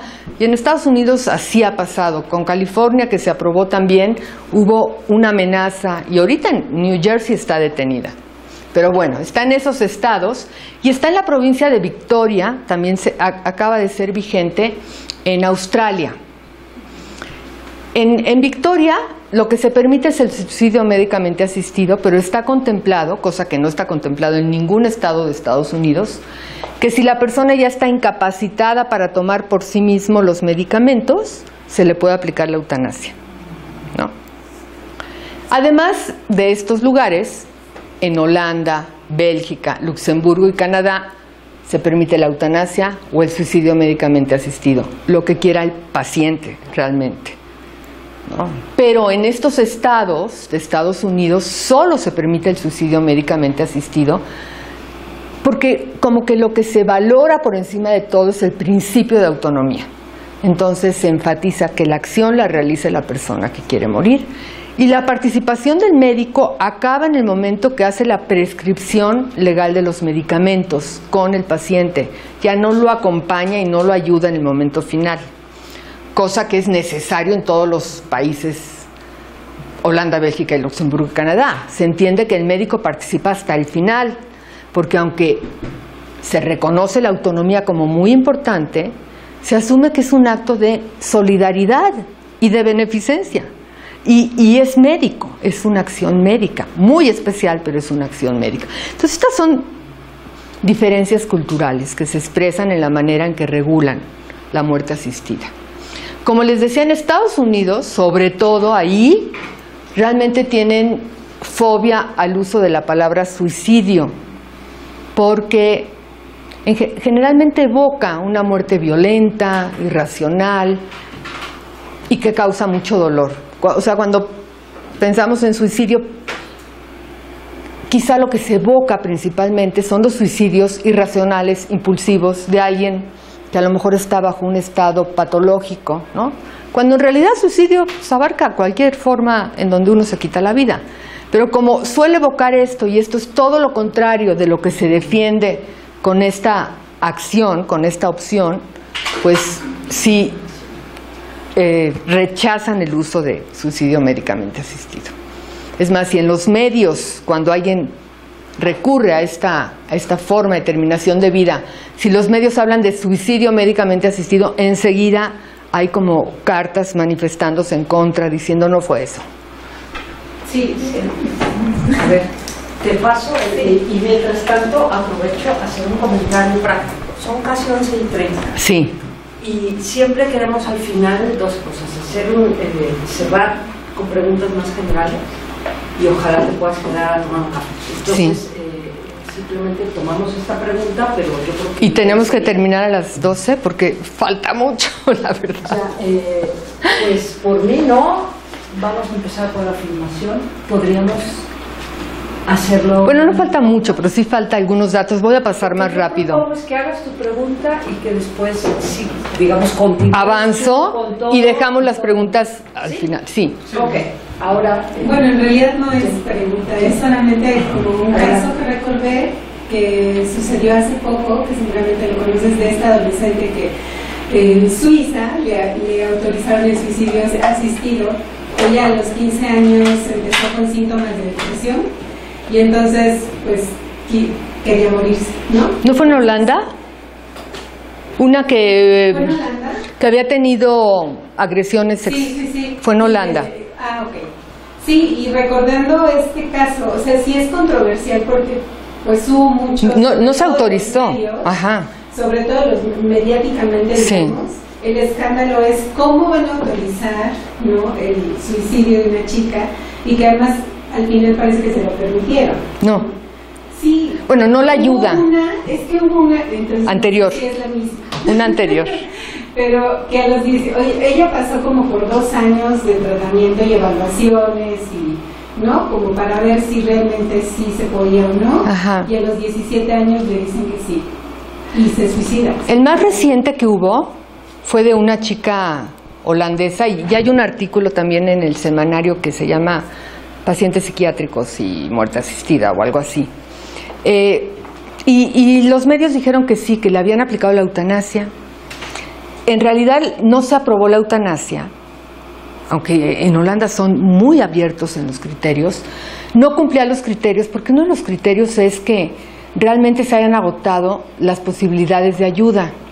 Entonces, como que ahí la, la, la razón era, alguien de 17 años, ahí sí no podemos decir que en un paciente psiquiátrico se hayan agotado los tratamientos, ¿no?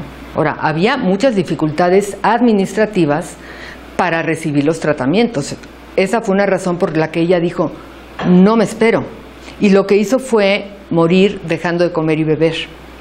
Y, y hubo aclaraciones de los medios después. Pero hay un caso que por las mismas razones, una mujer, pero de treinta y tantos años, como hace tres años, que sí recibió la eutanasia, porque realmente decía, ya he probado muchos tratamientos y las secuelas de lo que padecí realmente representan un sufrimiento intolerable. Claro, lo que porque aquí estamos, no, ahorita vamos a ver. Este, el suicidio asistido del que les he hablado sin el, adjetivo de médicamente solo se permite en Suiza, en donde hay organizaciones que, que dan esta ayuda incluso a extranjeros. Por eso oímos con cierta frecuencia que fue a Suiza, ¿no? Estos son los requisitos que debe cumplir el médico en Holanda y que se parecen a todos. Entonces los voy a presentar y luego vamos a ver qué diferencias hay entre los países. Se tiene que asegurar que el paciente tiene una solicitud que es voluntaria, o sea, no, es, no está deprimido, no es expresión de depresión, ni de desesperación, ni de la presión de otros que son los que quieren ya que se acabe la situación. Entonces, se tiene que asegurar que realmente es un pedido libre de la persona. El sufrimiento, que puede ser físico o emocional, es intolerable y sin posibilidad de mejoría. Evidentemente este es un criterio que es difícil porque el único que subjetivamente sabe qué está sintiendo es el paciente, pero tiene que convencer al médico de que ese sufrimiento es intolerable. Tiene que estar causado por una condición médica, por eso está el médico participando, ¿no? Si es un sufrimiento por la vida, por otras razones, pues no, no entra en la eutanasia, no entra en, en esta ayuda. El paciente está muy bien informado de su situación y es algo que discuten, como nos decías antes, ¿no? Es algo que también la eutanasia se discute y se llega a la conclusión de que es la mejor ayuda o el suicidio médicamente asistido. En Holanda la gente prefiere que sea la ayuda eutanasia que suicidio médicamente asistido, pero puede ser cualquiera. El médico tiene que consultar al menos otro médico que verifique todo y luego tiene que seguir el máximo cuidado profesional, o sea, el medicamento indicado, la dosis indicada, la vía indicada. Y solo después un comité evalúa si se cumplieron los criterios. Esto en México nos hace mucho ruido porque todas las iniciativas que ha habido siempre dicen, y un comité que apruebe que se aplique la eutanasia. Lo cual es problemático porque ese comité no está hablando, no va a hablar con esa persona que está pidiendo eso. Entonces va a autorizarlo o no desde aquí, desde... Se entiende que, se quiera así para tener más seguridad de que no se haga mal, pero plantea problemas que sea así.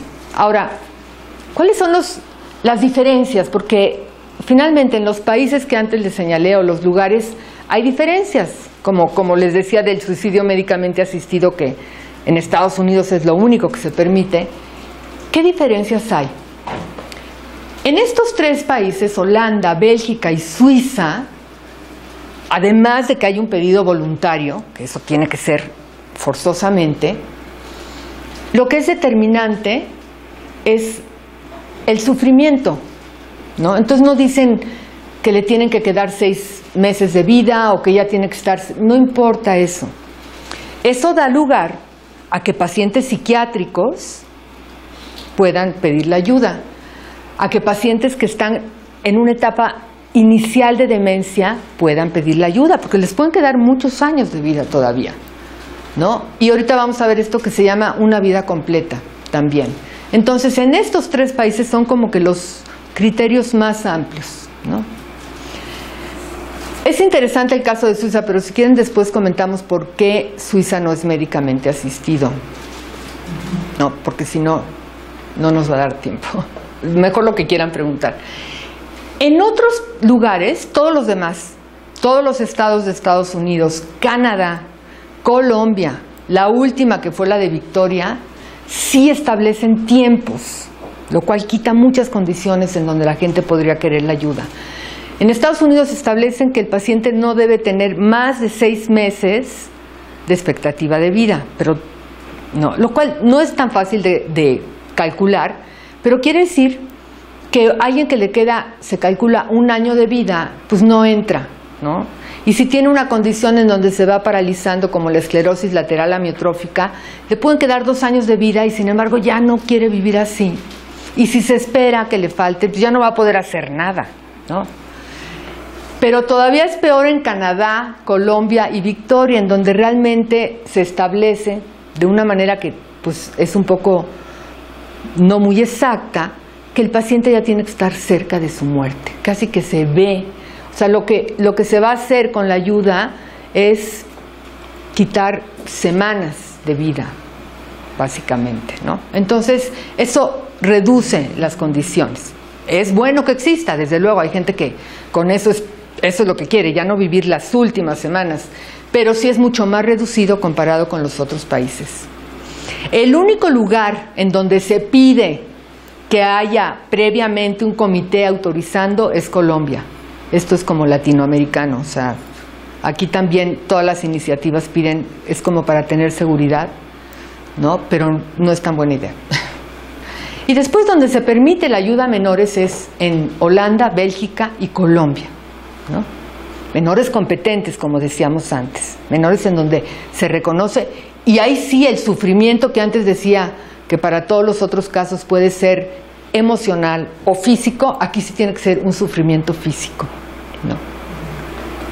Y con el acuerdo de los padres, aunque en Holanda un, un, adol, un adolescente puede pedir la eutanasia entre, si tiene entre 16, 16 o 17 años, con el conocimiento de los padres, no necesariamente con el consentimiento. Entonces son variaciones también. Estos son casos más o menos recientes. Esta es una mujer francesa que viajó a Bélgica para recibir la eutanasia porque en Francia está prohibida.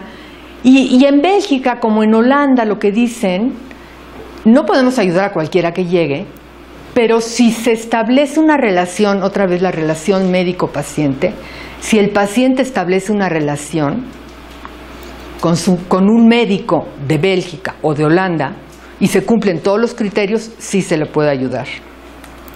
Este es un caso que también pues, salió mucho en las noticias. 104 años, viajó a Suiza, tuvo que ir a Suiza. Y es, no, es, no es que tuviera una enfermedad terminal, es que tenía 104 años. Exacto. Y ya se había cansado de vivir y se quería morir bien. Y este es otra, otro caso que también circuló mucho de una chica que, bueno, se acababa de casar cuando le diagnosticaron cáncer cerebral, intentó un tratamiento, supo rápido que no iba a tener ninguna posibilidad de curación y entonces ella era de California, donde todavía no se permitía, se mudó a Oregón para poder ser residente, que es un requisito, y entonces recibir la ayuda para morir, y así murió, ¿no? Y su caso sirvió mucho, ella misma en vida lo, lo difundió su caso con el apoyo de una asociación que defiende este derecho para que se permita más leyes en más lugares de poder decidir el final de la vida. Y después cuando murió, eh, su viudo y su mamá pues siguieron eh, impulsando con su caso eh, un cambio legal que se tradujo en que en California ya se permite el suicidio médicamente asistido. Bueno, ¿cuál es la controversia? Habría que empezar por decir, nunca nos vamos a poner de acuerdo, como tampoco en el aborto, ¿es ético o no? Va a haber quienes digan, esto es- ético, de acuerdo a mis valores y creencias, y esto no es ético. Pero no se trata de que todos pensemos lo mismo, sino que reconozcamos que hay posiciones diferentes y que las dos se deben de respetar, porque ahora en muchos países como México, pues solo se respeta la de los que no quieren que exista la eutanasia, ¿no? Habría que respetarse las dos. A menos que hubiera argumentos de peso para decir, no, es que tendría consecuencias muy, muy malas, ¿no? Muy nocivas para la sociedad, lo cual, pues no, no se ha demostrado. Y además, a diferencia de cuando empezaba esta discusión, sobre todo entre filósofos por los años 60, 70, en donde no era legal en ninguna parte, pues todo lo que se decía que iba a pasar, pues podía uno decir, pues no queremos que pase eso. Pero ahorita ya tenemos datos de cómo ha pasado en los lugares en que se ha permitido, como para analizar esos argumentos. Resumiendo argumentos a favor, pues hay situaciones en que si buscamos la muerte digna, el único medio de garantizarla es la muerte médicamente asistida, porque las otras ya no se agotaron. ¿no? Mientras no sea legal, solo tendrán acceso algunos pacientes privilegiados que conocen a un médico al que saben que le pueden pedir eso porque está de acuerdo, pero los demás no, entonces es injusto. ¿Mandé? O que pueden viajar a Bélgica. O que pueden viajar a Suiza o así. Mientras no sea legal, las personas que ayuden corren riesgos y se da en condiciones en donde no hay la tranquilidad y el acompañamiento que se necesita cuando se, se trata del final de la vida, ¿no? En contra de legalizar, además de los argumentos, si se puede llamar argumentos que no son argumentos religiosos, que tienen un enorme poder y un enorme peso, ¿no? Y por ejemplo, la Iglesia Católica, lugar donde se empieza a discutir eh, algo que tenga que ver con legalizar la muerte asistida, tiene una presencia. Sea mayoría católica o no, no quiere que haya progreso, ¿no? Entonces, sí, la religión tiene mucho peso para detener cambios legales. Pero quitando eso, los argumentos, digamos que sí se pueden argumentar, que sí tienen este, una racionalidad y que más, o sea, que se pueden, se pueden resumir en estos tres. Y si uno ve cómo se discuten en el Reino Unido, finalmente están ahí y en, cualquier lugar en donde se discuta aparece esto. Uno es, si tenemos cuidados paliativos ya no se necesita la eutanasia, lo cual no es cierto. sí se van a evitar muchos casos de eutanasia, porque muchas veces la gente sí dice me quiero morir porque está sufriendo y si se le empieza a dar atención paliativa y empieza a tener alivio, ya no se quiere morir. La gente se quiere morir cuando de veras eso es lo mejor, pero si no quiere vivir en general. Entonces, pero junto con este argumento se dice, es que si se permite la eutanasia, ya no se va a desarrollar los cuidados paliativos que necesitan mucho más desarrollo, porque los médicos van a preferir aplicar la eutanasia que dar cuidados paliativos. Lo cual, nuevamente, los datos de los lugares en donde se ha permitido demuestran todo lo contrario. Porque no, en ningún lugar dicen, ay, ahora ya tenemos la eutanasia, ya tenemos la solución. No. Lo que quiere decir es que ahora sí se atiende el final de la vida y se desarrolla todo lo que ayude para el final de la vida. Y los mejores cuidados paliativos ahora están en donde también hay la posibilidad de las personas de tener, decidir el final de su vida, porque se reconocen como complementarios, no como excluyentes. Otro argumento es, los médicos nunca deben de participar en una acción que implique causar la muerte, ¿no? porque eso atentaría contra la confianza de la medicina.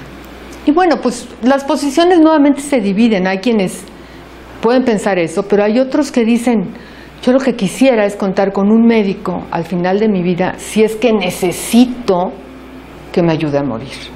O sea, eso, esa es la confianza que quieren. ¿no? Entonces, eso también está, es algo que no queda, no es tan contundentemente claro como se pretende. Y luego está, pues lo que a veces es mucho más falacia que argumento, ¿no? De la pendiente resbaladiza porque tampoco es que haya una demostración. O sea, lo que se dice es, ok, hay situaciones en donde puede estar justificada la muerte asistida, pero es inevitable que si se permite, se termine abusando.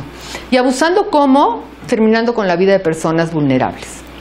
Nuevamente los datos en donde hay, si acaso, si se ve cierta discriminación, pues es en el otro sentido. O sea, si vemos, por ejemplo, quiénes son los que mueren por suicidio médicamente asistido en Oregon, pues no, son los que están muy educados, los que han sido muy independientes, los que tienen un nivel educativo alto. Nunca son los, no, no son los que, los que esto anuncia, ¿no?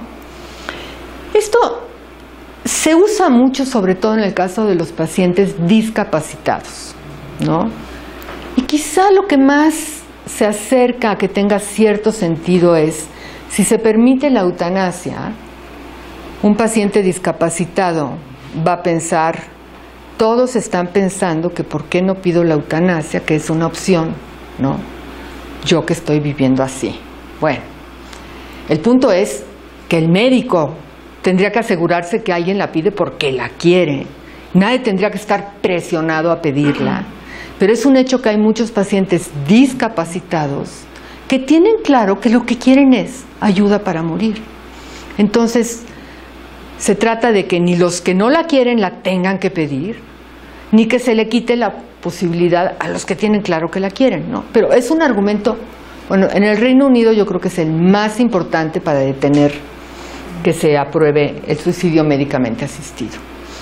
Bueno, nada más hablar brevemente, hay asociaciones en todo el mundo, incluido en México, que defienden este derecho a que las personas puedan decidir sobre el final de la vida y que en inglés se llaman Right to Die Societies, que desde el siglo pasado empezaron como a, no, aparecieron desde 1930 y tantos, pero empezaron como a proliferar como por los 60, 70, ¿no? Cuando las personas, muchas personas empezaron a, a ser testigos de la muerte de personas cercanas, sobre todo de sus papás, que decían, pero ¿cómo está muriendo totalmente en condiciones contrarias a los valores que defendía. Yo no quiero que me pase. Entonces se formaron estas asociaciones como para que la gente pueda tener asegurada una muerte digna y no verse sometido a lo que nunca querría. La mayoría de estas forman parte de esta federación mundial, aunque no todas, en donde están pues reunidas sobre todo asociaciones de Europa, son las que más hay, ¿no? Australia, Australia tiene ocho, bueno, hay dos en América Latina, en Colombia y en México, y hay una cristiana, también creo que es australiana. Y solo una cosa que no dije, tú eres vicepresidenta de esa... Sí, sí. Ahora, algo interesante de esta federación es que representa algo que está pasando, ¿no? Y que es una pregunta pues muy relevante o plantea preguntas muy relevantes. O sea, todas están de acuerdo en defender el derecho de las personas a tener control al final de su vida y poder decidir al final de su vida un buen final de vida, si eso es lo que quieren, ¿no? Y esto requiere poder morir bien y seguro requiere o ayuda o contar con los medios. Y ahí sí las asociaciones pues tienen diferentes ideas de cómo tiene que ser esa ayuda, ¿no? Hay unos que están muy convencidos de que todo se tiene que buscar y defender en la legalidad, y hay otros que dicen, pues es que no, es que los cambios legales son muy lentos y las personas necesitan, necesitamos responder a personas que ya necesitan una ayuda. Y en su país, quién sabe cuándo sea, ¿no? Entonces hay unos que ayudan poniéndose en el límite de la legalidad y hay otros que se quedan pues anclados en lo que es legal, defender solo lo legal para no tener problemas legales. Por esta misma razón de que hay unos que juegan en el límite de la ilegalidad, hay algunas asociaciones que no quieren formar parte de la federación. Entonces, quienes dicen no, no podemos esperar, por un lado, a que haya los cambios legales, que además siempre los cambios legales hasta ahora, y a excepción de Suiza, siempre apuntan a que sea una decisión, una opción en el contexto de la atención médica al final de la vida, en donde un médico da la ayuda y un médico es el que decide si da la ayuda o no. Entonces hay voces diciendo esto tiene que dejar de ser un asunto médico y tiene que ser algo que cualquiera tenga el poder y no depender de la aprobación de un médico. Pero entonces se necesitan medios disponibles. Y si hay medios disponibles para que alguien se pueda quitar bien la vida, uno de los principales problemas es que, y las personas que no deberían de suicidarse porque realmente están en un estado de depresión que se puede atender, o en un estado de desesperación que va a pasar. Entonces es un problema, es un problema. Las, yo creo que hay razón en las dos partes, ¿no? Y no, no está clara la respuesta, y pues, pero la planteo porque esa es la situación actual. Los temas más controvertidos los voy a pasar muy rápido, son las personas con enfermedad psiquiátrica. ¿Por qué? Porque para un médico que es el que decide por ahora, y en Suiza que no decide un médico, pero están... En Suiza, miren, lo que pasó en Suiza es que estas organizaciones que quieren empoderar a las personas para que puedan decidir el final de su vida, se dieron cuenta que en su Código Penal de 1930 y tantos hay un artículo que dice comete delito el que ayuda a alguien a suicidarse por motivos egoístas. Punto. Entonces dijeron, ah, eso quiere decir que si lo hago por motivos altruistas no es delito. Y eso es lo que han estado haciendo. De esa forma han podido estas asociaciones ayudar a personas comprobando que hacen un pedido voluntario y que ellos no ganan nada de eso, ni cobran, claro, piden dinero por, por todo lo que necesitan tramitar para poder hacerlo. Pero, aunque esto en teoría hace que cualquiera pueda ayudar a alguien a suicidarse en Suiza, pues en realidad se desconoce cómo funciona eso, lo que sí es un hecho es que el Estado ha regulado estas organizaciones y sí les pone ciertos límites. No quiere decir que cualquiera tiene que demostrar que, bueno, si hay un sufrimiento, en fin, ¿no? Pero bueno, entonces las personas con enfermedad psiquiátrica pueden morir en Holanda, Bélgica y Suiza. Es muy, mucho más difícil para los médicos y de hecho no están muy dispuestos a hacerlo, porque es muy diferente ayudar a alguien aplicándole la eutanasia, por ejemplo, al que le quedan un mes de vida, o sea, que se va a morir por la enfermedad. Ayudar a alguien, como el caso que comentamos de 30, que podría vivir 40 años más, es mucho más peso. ¿no? Pero esa persona no quiere vivir así y por eso está incluida. Los menores es otro caso muy controvertido. La gente dice, ¿cómo? ¿Los niños? Pero pues es que los niños y la racionalidad es, sería discriminatorio no ayudar a menores que están sufriendo por una enfermedad y que quieren morir solo porque son menores, ¿no? Entonces, bueno. Personas con demencia. En, en los tres, en Holanda, Bélgica y Suiza nuevamente, se ayuda, o sea, se aplica la ayuda para que una persona muera como quiere, cuando la persona está en la etapa inicial de una demencia y todavía puede hacer un pedido competente, ¿no? Y cumple los criterios, tiene un sufrimiento intolerable que es existencial o emocional, saber que va a avanzar hacia la desintegración de su persona. Es interesante ver que en Holanda, cuando se legalizó la eutanasia y el suicidio médicamente asistido en 2002, la ley contempló que una persona mediante una voluntad anticipada pudiera pedir la eutanasia para cuando estuviera en un estado avanzado de demencia. O sea, en teoría está permitido, pero los médicos no lo quieren hacer. Hay como una relación de tres, por ejemplo, en 2017, tres lo aplicaron con una voluntad anticipada frente a 166 que lo aplicaron en la etapa inicial. ¿Por qué? Pues porque los médicos les queda claro que es otra persona, ven a otra persona que en el momento de la demencia avanzada ya no tiene ninguna relación con la que hizo la voluntad anticipada, que precisamente por eso la hizo, para no vivir así. Pero como el médico decide, el médico es una cuestión ética personal del médico. Es decir, yo no puedo ayudar a alguien a darle algo para que se muera si yo no puedo discutir y saber con él que eso es lo que quiere. Es un problema. De hecho, en Canadá están buscando que se permita eso, a pesar de que en Holanda no ha funcionado.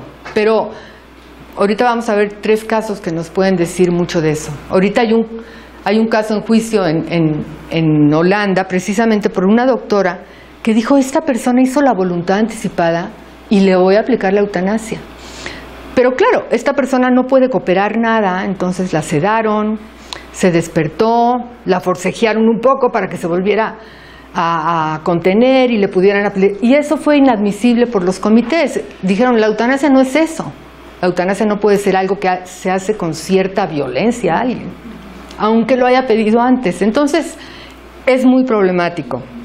Al, legislar y decir se va a incluir casos de demencia, hay que tener claro cómo, porque cuando se establecerlo por voluntad anticipada como querría la gente para poder vivir más tiempo, es muy complicado. Este es un escritor belga que muy reconocido en su país y murió por eutanasia en la etapa inicial cuando se dio cuenta que ya no podía escribir, que ya todo se le confundía, ¿no? Y entonces todavía podía ser un pedido competente.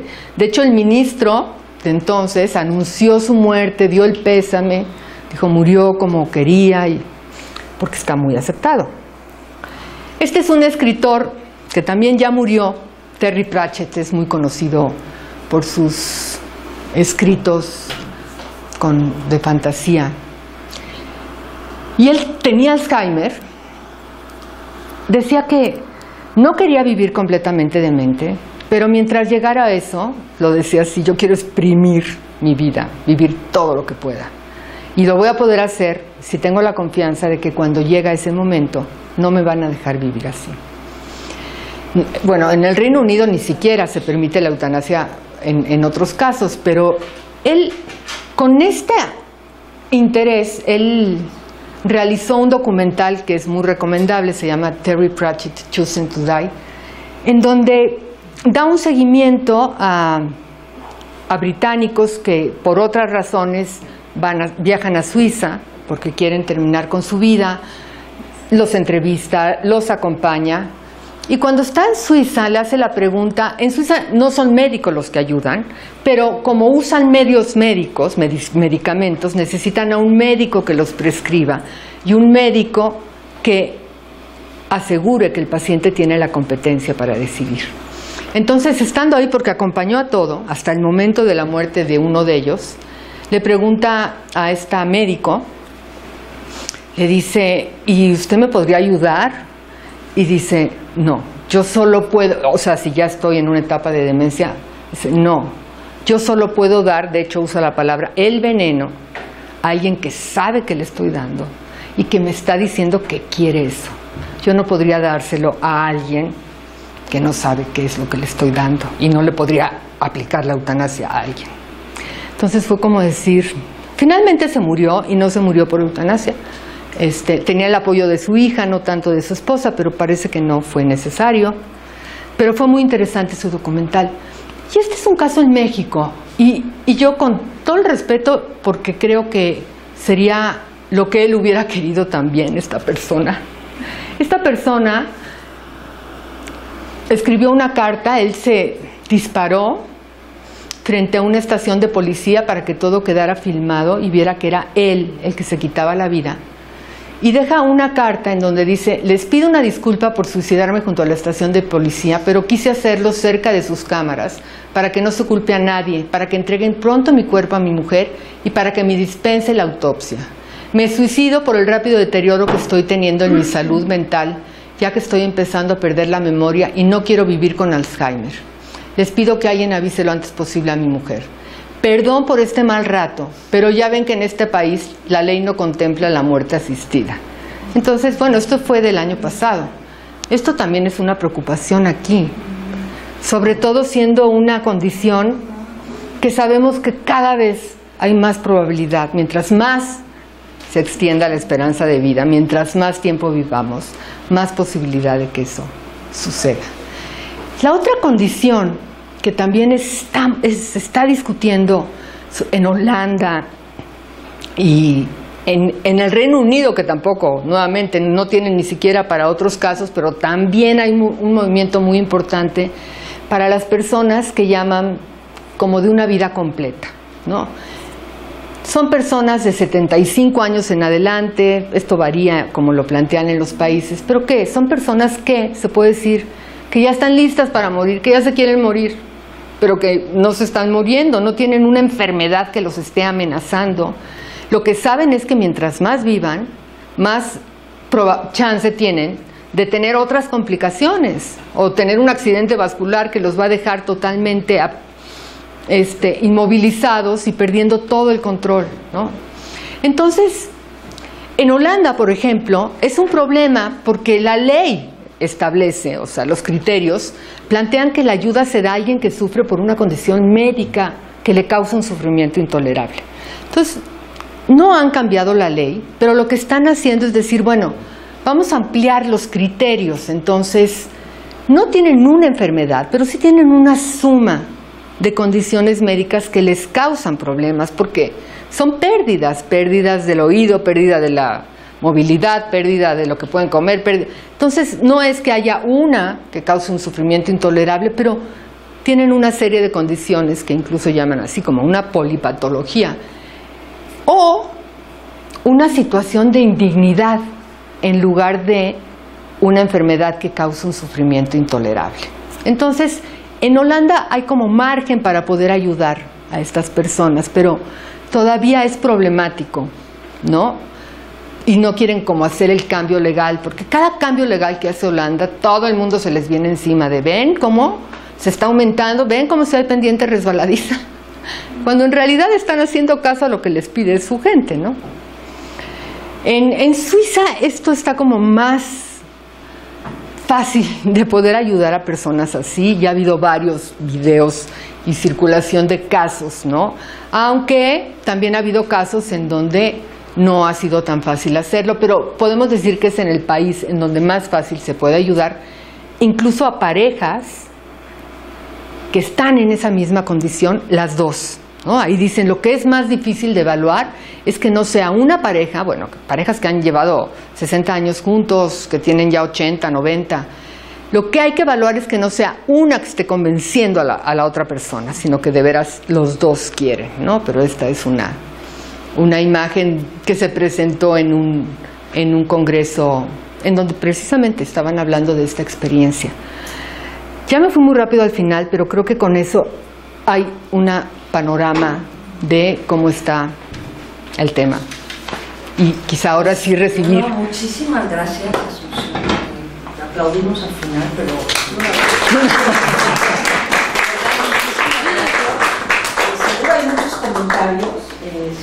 importa, debo empezar. Sí. Eh, bueno, varias preguntas eh, específicas, pero déjame hacer solo una general. Eh, como te comenté, este es un seminario en donde hemos enfatizado la parte epistémica, ¿no? el seminario de epistemología de las ciencias de la salud. Entonces yo te la quiero hacer en, en- en ese sentido. Este problema, como muchos otros problemas eh, de la bioética, debo decir, pero este muy particular, eh, se ha presentado siempre co- co- como, como un problema ético del médico, de la propia sociedad, etcétera. Y bueno, desde luego hay, hay, hay dilemas, hay implicaciones éticas muy claras que tú dijiste, pero yo te quisiera llevar al, al, al punto de hasta dónde podemos decir que las implicaciones son éticas, pero que muchos de los problemas son epistémicos. Cuando tú dices, eh, o en este medio, se está haciendo una decisión médica. Sí. Esto es una decisión médica basada con implicaciones éticas, eso desde luego no está en discusión, pero basada en información. Y cuando se habla de un paciente competente, Ajá. Aquí hemos tenido algunos eh, seminarios donde hemos estudiado, por ejemplo, la asimetría epistémica que hay entre paciente y médico. Si un médico te dice de entrada, y lo estoy diciendo para gente eh, como nosotros, que nos consideramos educados, y te dice, no, lo que mejor te conviene es operarte. Claro. Entonces tú confías en, en- Claro. en- en- en tu médico pero quien tiene más información sobre el caso, o sea, el médico de entrada, es raro, sí los hay, claro, pero es raro que te diga tus opciones son hacer esto, esto, esto, o no hacer nada, que es también una opción. Entonces, eh, yo lo que te quisiera eh, preguntar es, bueno, eso que eh, aun cuando las decisiones médicas tienen implicaciones éticas, aquí hay muchos problemas eh, eh, que, son, que son eh, de conocimiento. ¿no? Claro. ¿qué, qué piensas so- sobre esto? Pues uno que planteaba desde el principio, o sea, en estos lugares en donde se aplica la, la muerte asistida, porque aquí ya me voy a solo este Claro, tema, claro. que nunca propone el médico, por otro lado, Sí, sí. tiene que ser saber que existe esta opción y que entonces la pueda pedir el paciente y empezar esta conversación. Yo creo que hay un gran problema para llegar a ella en los lugares en donde hay obstáculos serios y no se desarrollan las conversaciones necesarias para empoderar al paciente, ¿no? Entonces ya, ya no solo para esta, para cualquier decisión.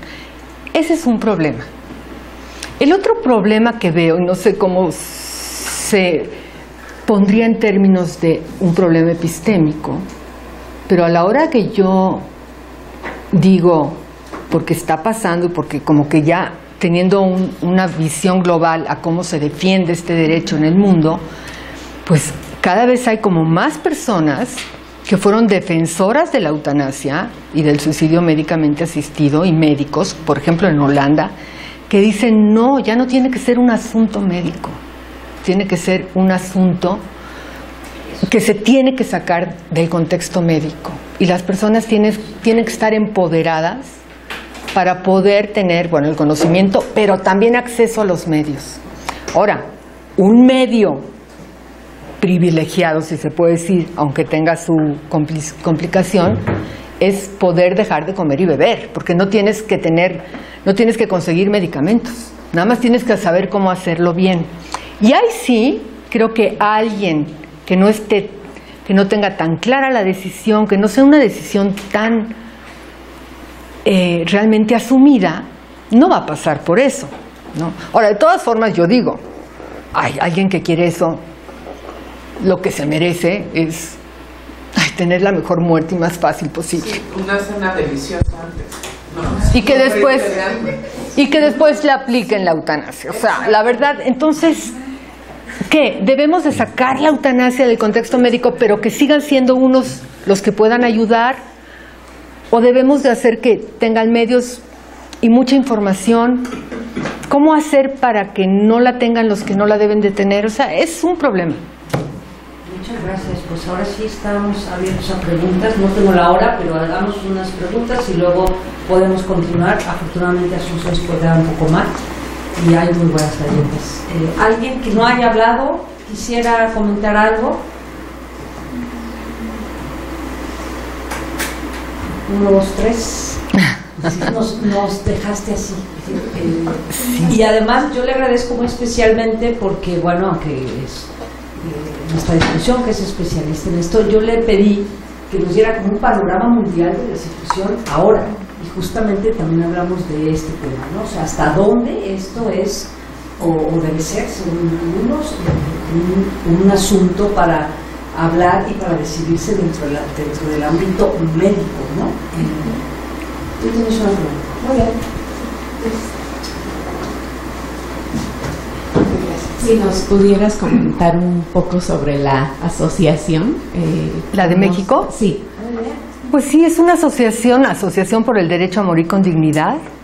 La preside Amparo Espinosa Rugarcía, no sé si les es familiar este nombre. Ella, pues es una, es una mujer, ella fue, es hija de, su, su padre fue un hombre muy importante en, en el ámbito financiero. Espinosa Iglesias, ah. exacto.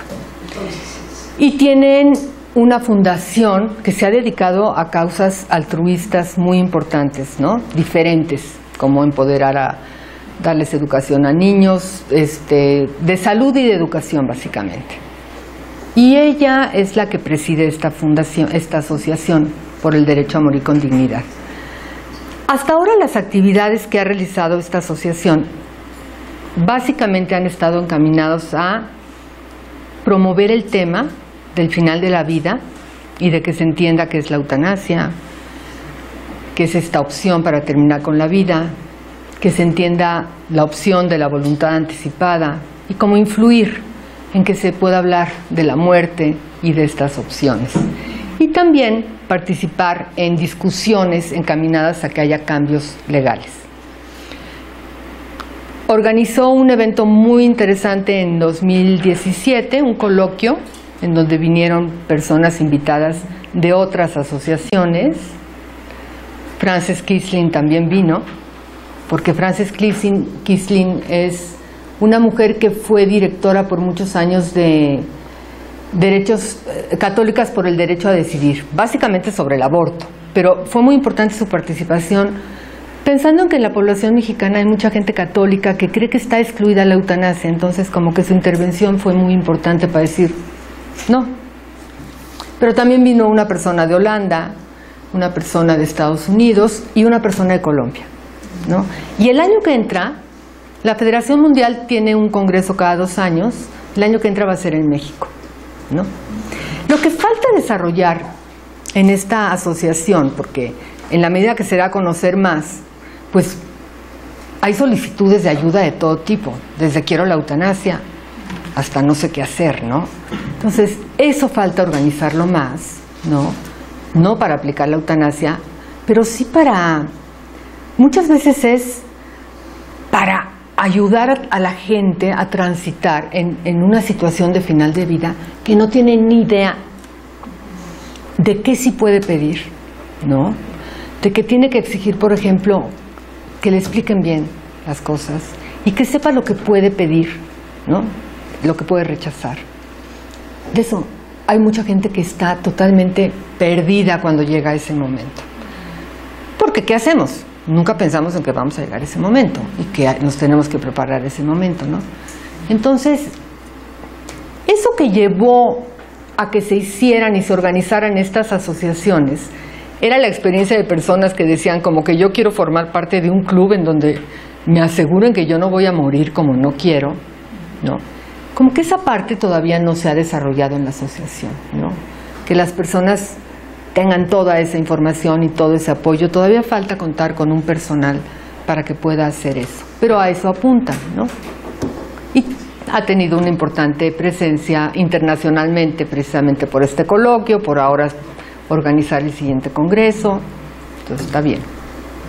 Hizo una encuesta muy interesante, nacional, en 2017 o 2016, en la que se encontró que cerca del 70% de la población está de acuerdo en que un médico ayude a morir a una persona que está en una situación terminal. Y también fue alto el porcentaje de católicos, casi 60, que también estaban de acuerdo. Entonces, esto es un dato muy interesante porque tenemos la idea de que no, y no, como en todos los países, son, es mayoría la población, son menos los médicos a favor y luego el Estado no respalda a la población. Pero es, es un dato interesante saber que en México también estamos como en la mayoría de, bueno, como en muchos países. No sé si hay más que yo. Diría que si hay alguien más, Sí, por eso para alguien que más. desaprovechen y si no acabamos con Marcia, son 12 y 10 y, y- y- y seguimos, pero en un plan más informado eh, hasta que Yo tengo dos, dos preguntas, voy a poner las dos y podemos quizás no abordarlas porque son muy... Pero es una posición que toman algunos médicos, igual que en el caso del aborto, es decir, aunque sea legal, si yo no lo quiero practicar por mi propia postura personal, ¿no? Este, ahí como serían como los derechos de el, El médico. personal de salud de rechazar hacer estas cosas versus los derechos de una persona de pedirlo, ¿no? O sea, esa negociación me parece pues un tema interesante que no hemos abordado. Y la otra que, que es como un sí, como una duda o una sensación, porque no sé bien si es duda. Siempre que pienso o platico de este tema es que no me queda muy clara la línea, y es que es porque no es clara, pero platicarlo pues un poco, entre estos casos de muerte asistida y de eutanasia y de este, ayuda en el suicidio cuando hay una causa médica y la otra que es en donde no son sufrimientos existenciales por decirlo de alguna manera. Y yo ante esos me posiciono igual o sea si la gente no quiere o sea no tiene que ser a fuerzas no Claro.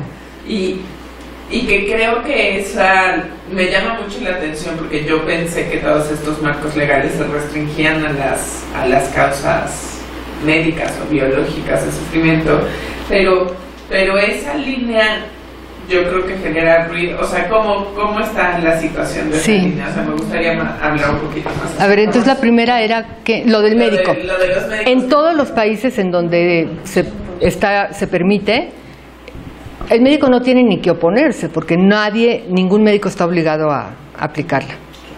Y de alguna forma, Holanda es el país que más ha reflexionado el tema, más juicios ha tenido, más literatura hay para, para estudiar y entender esta práctica. Y Holanda lo dice como, como funciona en los demás lugares. En Holanda no hay un derecho a la eutanasia. El paciente tiene derecho a pedirla y el que decide si se aplica o no es el médico. En principio, primero si en general está a favor o no, pero incluso los que están a favor, en cada caso tienen que estar convencidos de que está de acuerdo. Por eso muchos médicos no quieren aplicar a pacientes con demencia por, a través de una voluntad anticipada. Entonces, precisamente por eso, y también médicos holandeses dicen, no es justo, eso limita la autonomía de las personas. Tienen razón, pero se le está pidiendo a los médicos que realicen una acción muy especial que consiste en causar la muerte. Entonces, por eso unos dicen pues que no sea, una- un, que no sea un asunto médico. ¿no? Ahora, eh, hasta ahora sí todos tiene que haber una condición médica. Lo que pasa es que la psiquiátrica también cuenta como médica, ¿no? Lo que la demencia también. Precisamente en Holanda lo que ha planteado problemas es que la vida completa no está tan claro que sea un asunto médico. Por eso medio que lo convierten en un asunto médico o dicen, bueno, hay que cambiar los criterios y que la indignidad cuente, porque lo que está causando la decisión es la edad y lo vivido y el, lo que una persona a esa edad se plantea que sigue. O sea, sobre todo lo que sigue es tener más oportunidad de perder el control. O sea, me van, me van a pasar más cosas, ¿no? Y, y ahorita puedo controlar, pero puede ser que termine en una nursing home sin poderme mover, si me da un accidente vascular. Y eso me puede pasar, yo sé que me puede pasar. Pero el problema justo, lo que, lo que ha sido difícil es que no es un asunto médico como todos los otros. Ahora, también ha habido casos bien controvertidos, y hay un caso en especial llevado a juicio, en donde se plantea este problema de una mujer que se había muerto su hijo, se había suicidado otro, uno por enfermedad, y, y ya no quería vivir.